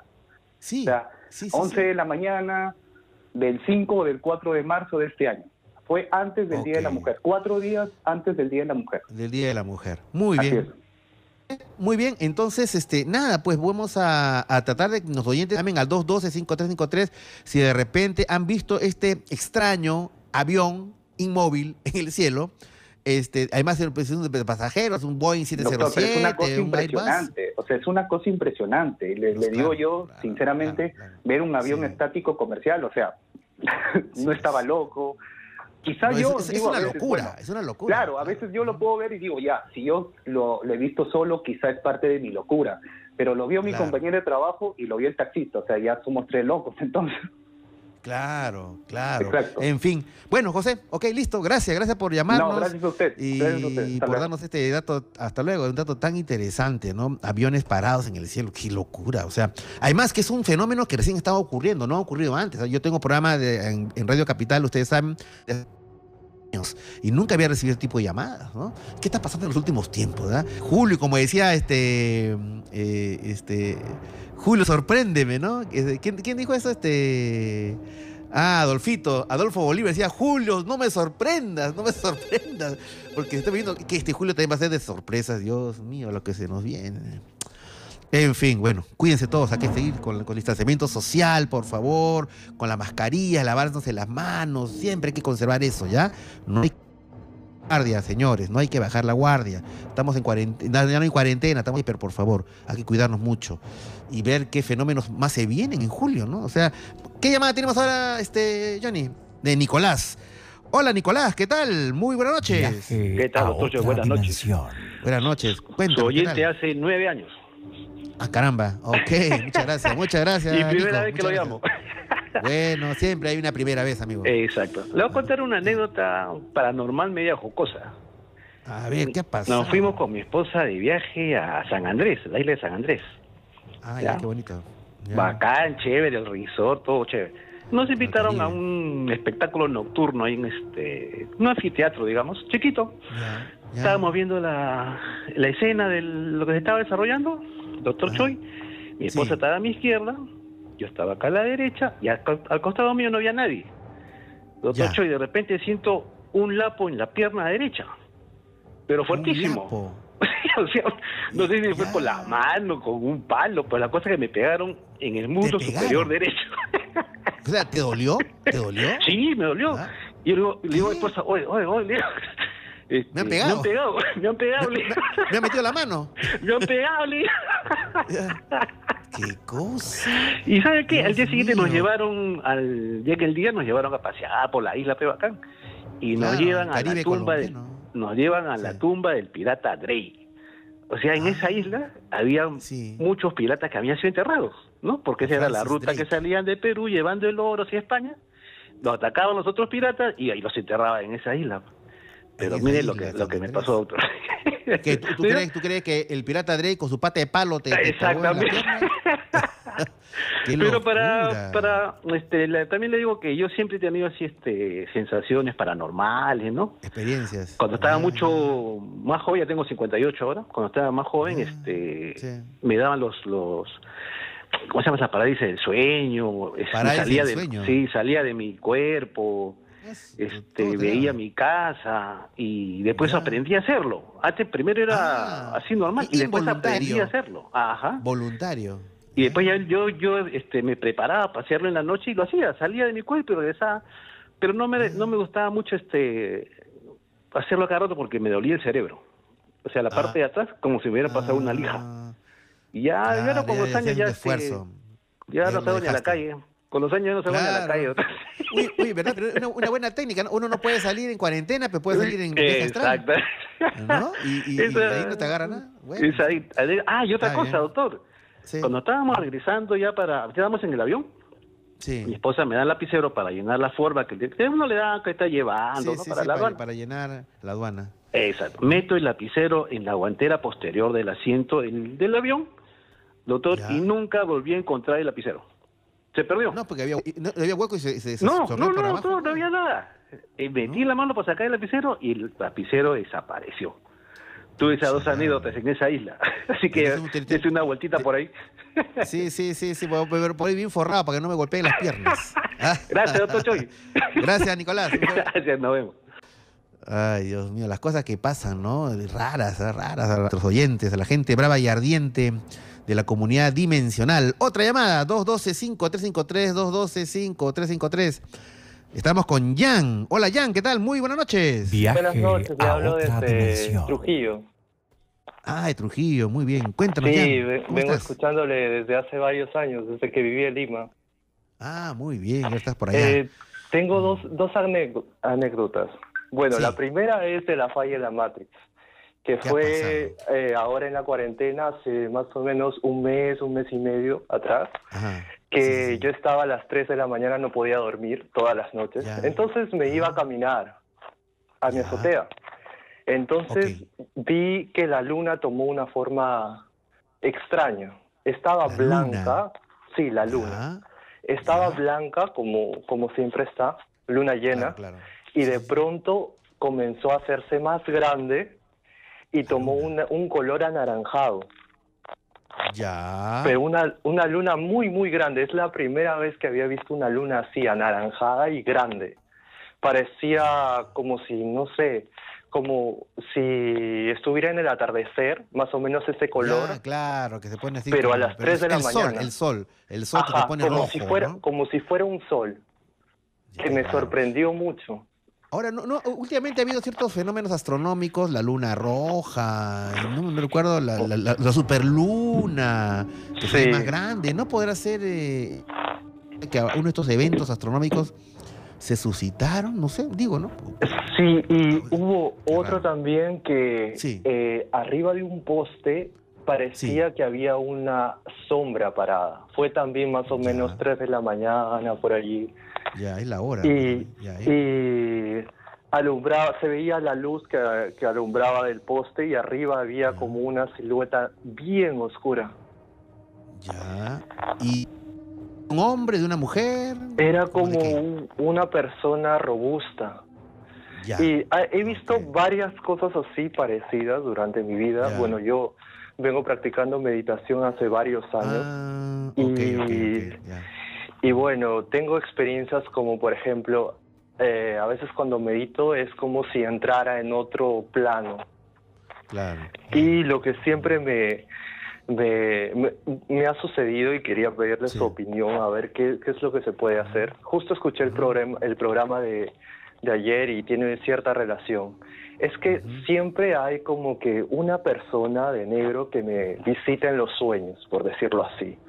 Ah, y pasa que es como si me quisiera llevar o hacer algún contacto conmigo. Y yo entro como en, como si tuviera miedo Mm. y no y no hago eso, pero hay otra voz que entra en ese en ese momento y me dice, cierra los ojos. Si ellos no saben que tú los ves, no vas a tener problemas. Y es lo mismo que ocurre cuando yo medito y cuando siento como si hubiera una presencia, por decirlo así, oscura, que me produce miedo. Porque aprendes a diferenciar. Cuando te habla esa voz, es como si te hablara tu papá o tu mamá, que te cuida. Y lo otro es como, es como sí, que algo, no sé, tenebroso. Y bueno, en realidad, justamente hablamos de ayer ese tema, ¿no? Eh, cuando hay este tipo de presencias extrañas, eh, es- espirituales, ¿no? Espirituales porque vienen del lado del espíritu, pero no porque necesariamente sean buenas o malas, qué sé yo. Pero la forma de identificar eso, de que son presencias negativas o positivas, es por lo que te, por lo que te causan, te- como la que te hacen sentir. Si tú sientes tranquilidad, eh, eh, protección, seguridad, paz, etcétera, es una, es una presencia positiva. Pero si sientes intranquilidad, amenaza, miedo, guarda. Aún más, hay, hay entidades que se disfrazan, te hacen pasar como un lobo, un lobo con piel de cordero, digamos, ¿no? Se hacen pasar por una entidad positiva pero te transmiten otra cosa, entonces hay que tener mucho cuidado. Y el tema de los sueños, claro, lo que hablábamos, que de acuerdo a estas teorías, es, es una realidad más, no es que sueños, sueños son, ¿no? Sí, sino es una justo- realidad más, ¿no? Tal cual. Y la Justo- meditación a veces te, te es un vehículo para eso. No, es bueno meditar, eh, encontrar, a uno le da mucha tranquilidad, se centra uno en, en- en ve- de una mejor visión para solucionar los problemas, ¿no? O sea, la- te tranquiliza, ¿no? Pero a veces cuando una persona tiene las antenas bien despiertas que se conectan ¿no? con determinadas Sí, también. jus- justo me hizo acordar de una parte del libro Yo visité a Ganímedes que habla de que despierta ciertas habilidades. Sí, Joseph Ibrahim, sí pues. Muy bien, muy bien, Jan. Ok, gracias, gracias por compartir tu historia con nosotros. Y bueno, queridos amigos, vamos a seguir escuchando las llamadas, pero antes quiero hacerles una, una- un consejo. El día de mañana Eh, ustedes saben que tengo esta cuenta en el Instagram, arroba Anthony Oficial.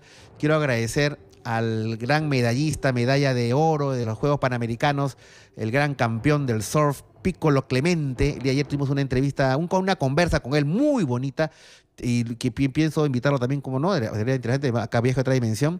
Está ya en la entrevista el día de ayer, pueden entrar a mi cuenta en el Instagram, arroba Anthony a la entrevista que le hice al gran campeón del surf medalla de oro en los Juegos Panamericanos, Piccolo Clemente, que dio sus muchas reflexiones sobre el mundo paranormal, el tema, estos temas sobre la vida, del misterio de la muerte, muy bacán, muy bacán. Toda una, una, una visión de un campeón, no hay nada que hacer, ¿ah? de una persona muy segura de sí misma y con mucha confianza en él y en lo, en, en, en, lo divino, podría decirse, en el universo, no lo sé, pero escuchen esa entrevista. Quiero invitarlo mañana jueves, jueves eh, a las, a, las 7, 8 mañana jueves 2 de julio, vamos a estar con la, con la ex Miss Perú 2015, la bella Laura Espolla. Vamos a tenerla en, en, en arroba Anthony la cuenta a mañana a las 7 de la noche en mi cuenta en Instagram. Muy bien, vamos a eh, escuchar la siguiente llamada. Ya estamos en, las en, los últimos minutos y hay que aprovecharlos al máximo. 212-5353, 212-5353. Ahí fallé la máxima. Sería interesante que nos puedan llamar para contarnos su experiencia sobre este tema, ¿no? Pero en fin, vamos a ver. Eh, tenemos una llamada. Oscar. Hola, Oscar, ¿qué tal? Buenas noches. Viaje a otra dimensión. Hola, ¿cómo está, doctor? ¿Cómo está? Bien, aquí Oscar, escuchando sus tan interesantes y alucinantes llamadas. Esta noche ha sido muy bacán. Pero cuéntanos, Oscar, ¿qué tal? ¿Qué novedades? Eh, aquí, doctor, este, usted sabe, a veces este, uno tiene experiencias que a veces uno se lo guarda y, y no los cuenta, ¿no? Pues. Los tiene en su vida diaria, a veces se acuerda cuando te vas a descansar eh, bueno, ahorita que estaba escuchando el programa, este, tengo, no sé si, si, si hice algo parecido a lo que estaba hablando sobre el tema de los de Matrix, pero les cuento, pues, este, este, eh, lo que pasa es que este, mi esposa y, mi hijo están en, provincia ahorita, ellos les, la cuarentena los agarraba allá. ¿En qué parte, en qué provincia, en qué parte del Perú, este Oscar? En Chiclayo están. En Chiclayo, muy bien. ¿Y qué pasó? Entonces, entonces este, yo estoy aquí en Lima, ¿no? Entonces, este, siempre nos comunicamos, siempre. Entonces, este, el día de ayer, este, como siempre, recibimos, recibo, le hice una llamada, ¿no? Estábamos conversando con mi hijo y con ella a la vez. Y en una de esas, este, eh, me quedo conversando, ya había conversado bastante tiempo conmigo, me quedo conversando con ella y entonces, este, conversando lo normal, ¿ah? Eh, a veces hacíamos videollamadas, pero era una llamada normal de celular. Y, y, yo estaba en altavoz porque a la vez estaba comiendo y en altavoz, ¿no? Y entonces este, escucho que ella me hablaba, me hablaba y de ahí es que escucho que el teléfono se hace medio que se pierde la señal. Yo asumí lo más rápido, pucha, que se fue la señal, agarré el celular, quise moverlo y, claro. y, entonces yo escucho que ella ya no me escuchaba porque me decía, aló, aló, aló, Oscar, Oscar, aló. Y yo, yo escuchaba así, que me decía eso, que yo le decía, este, aló, oye, este, me conté, ¿me, ¿me escuchas? ¿Me escuchas? Algo, y nada, entonces, y, y una vez ya no he escuchado su voz, pero seguía la llamada. Ya. Y, ah, pucha, que habrá ido la señal, pero algo que nunca se va la señal acá en mi cuarto, pucha, qué raro. y, y, a los cinco segundos y corto la llamada, porque no, no escuchaba su voz, ¿no? Sí, sí, y vuelvo a llamar a los dos, tres minutos, y ya, ya había terminado de comer y me limpié todo y que pues algo de repente ha pasado, ¿no? Y le digo, ¿qué pasó? ¿Por qué me cortaste? Y ella me dice, ¿tú también por qué me cortaste? No, no te cortas. Sí, me has cortado. ¿Con quién estás? Me dice, solo. Digo, ¿qué pasó? no, porque, porque ahorita, este, eso ha sido ayer, doctor, porque cuando hemos estado hablando, yo te estaba diciendo algo y, y tú te has quedado callado y he escuchado la voz de una mujer, ¿no? Que ha dicho, ¿ya comiste? Y, y, digo, no, le digo, sí, ha recibido una llamada, tú me dices, no, no he recibido ni una llamada, yo al contrario, yo escuchaba tu voz, pero no, te lo juro que he escuchado una voz de una mujer que ha dicho, ¿ya comiste? Y de ahí, ¿qué más te he dicho? No, nada, y se cortó, me dice, y, pero no te escuchaba tu voz, no te escuchaba tu voz, por mí me decía, ¿qué? ¿Estás seguro? Y, no sé, si ha una, una una llamada que entra, pero no, yo no he tenido ni una llamada entrante, ni ella, ni nada, nada, nada. O, o, de repente, yo, yo, no conozco las cuestiones tecnológicas de cómo en el celular, que puede darse eso, de que de repente otra llamada se filtre, o, o otro celular Este, Pero se a mí alguna vez me ha pasado que cuando yo, yo recibo llamadas, sale, pues, Sí. ¿no? La persona que todavía te dice que si quieres poner en pausa, ¿no? La otra llamada que estás ahí.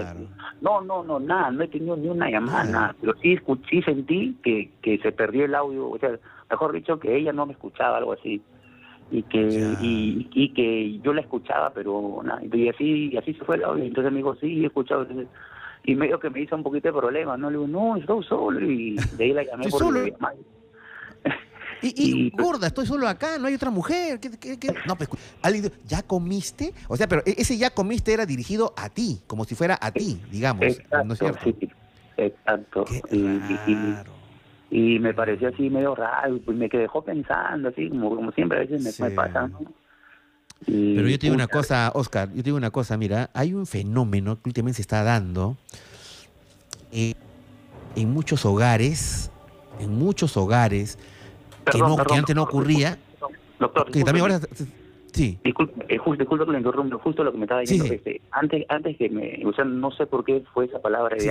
estábamos hablando de, de algo de que, bueno, no había quien me dé de comer, ¿no? Porque, o sea, a veces atenderme yo mismo, sí medio que ser estábamos hablando de ese tema, algo así, de ahí estábamos hablando, pero tocamos un tema, algo de comida, algo. pero de ahí se cortó la llamada y ella escuchó esa voz clarito y ella, ella hasta, hasta ahorita está así, que alguien ha estado ahí, no, te lo juro, pero me deja tan así con intriga y ella, y ella, ella dice que no, que sí, que ella, yo he escuchado una voz clarita, que estaba a tu lado, me dicen. Ahora, ahora, claro, Oscar, en tu cuarto, en ese donde estás tú ahí, en tu casa, cuarto, departamento, qué sé yo, ¿penan? ¿Has sentido presencias o no? Ah, mire, eso es lo que yo a veces quiero. Bueno, yo como le digo, yo escucho, pero no no tengo miedo, nada, si no quiero ver Ya. nada, pero no, no.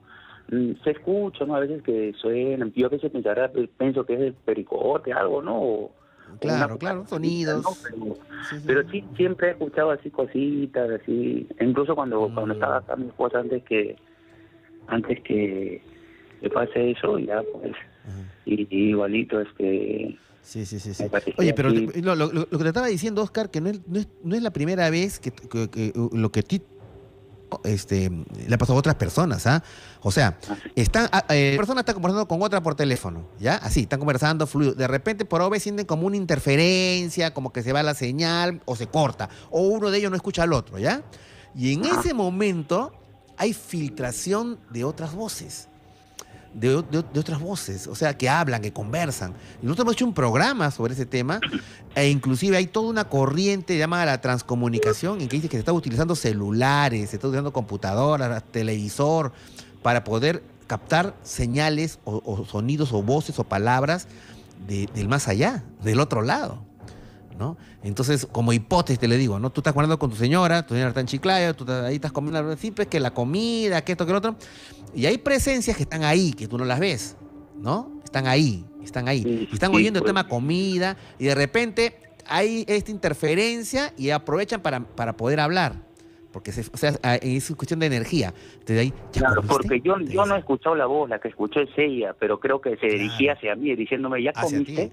Ajá. comiste? Y, y- y digo. Claro. Digo, ¿qué? No, digo, ¿qué? Le digo, estás loca, le digo, Sí. ¿qué tienes? ¿Estás conversando conmigo? No, sí hemos Claro. estado conversando, pero se fue la llamada, tú te, tú te has quedado en Claro. silencio, me dice.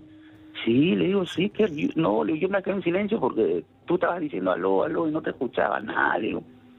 no, y Claro, ahí no me ha dicho esa mujer así.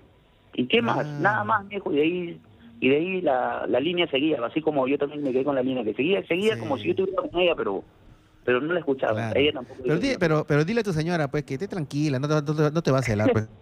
no, Claro, sí, pues, ¿no? sí, sí, sabe, Ah, sino que- imagina- a, me- a me- a menos que sea una incuba, una incuba, ¿no? La cosa se pone un poco Ah, más, movida. quiere- Ahí sí, quiere- ahí sí, ¿no? Uy, bien, Oscar. Bueno, gracias, ¿ah? Gracias, amigo, gracias, ¿ah?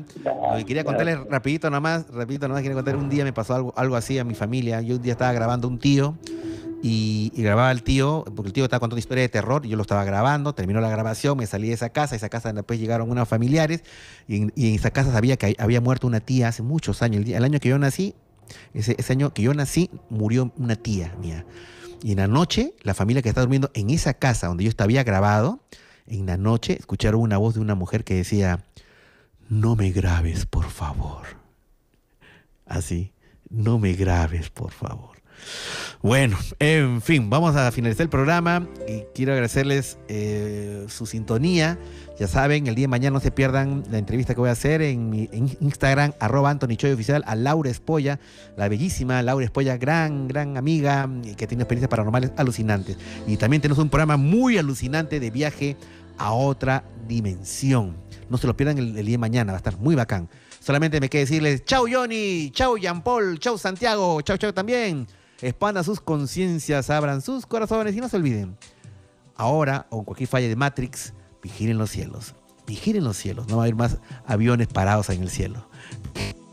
Cielos hasta el día de mañana. Dios mediante. Chau. Cuídense, ¿eh? Chau. Anthony Choi está en Capital con Viaje a otra dimensión.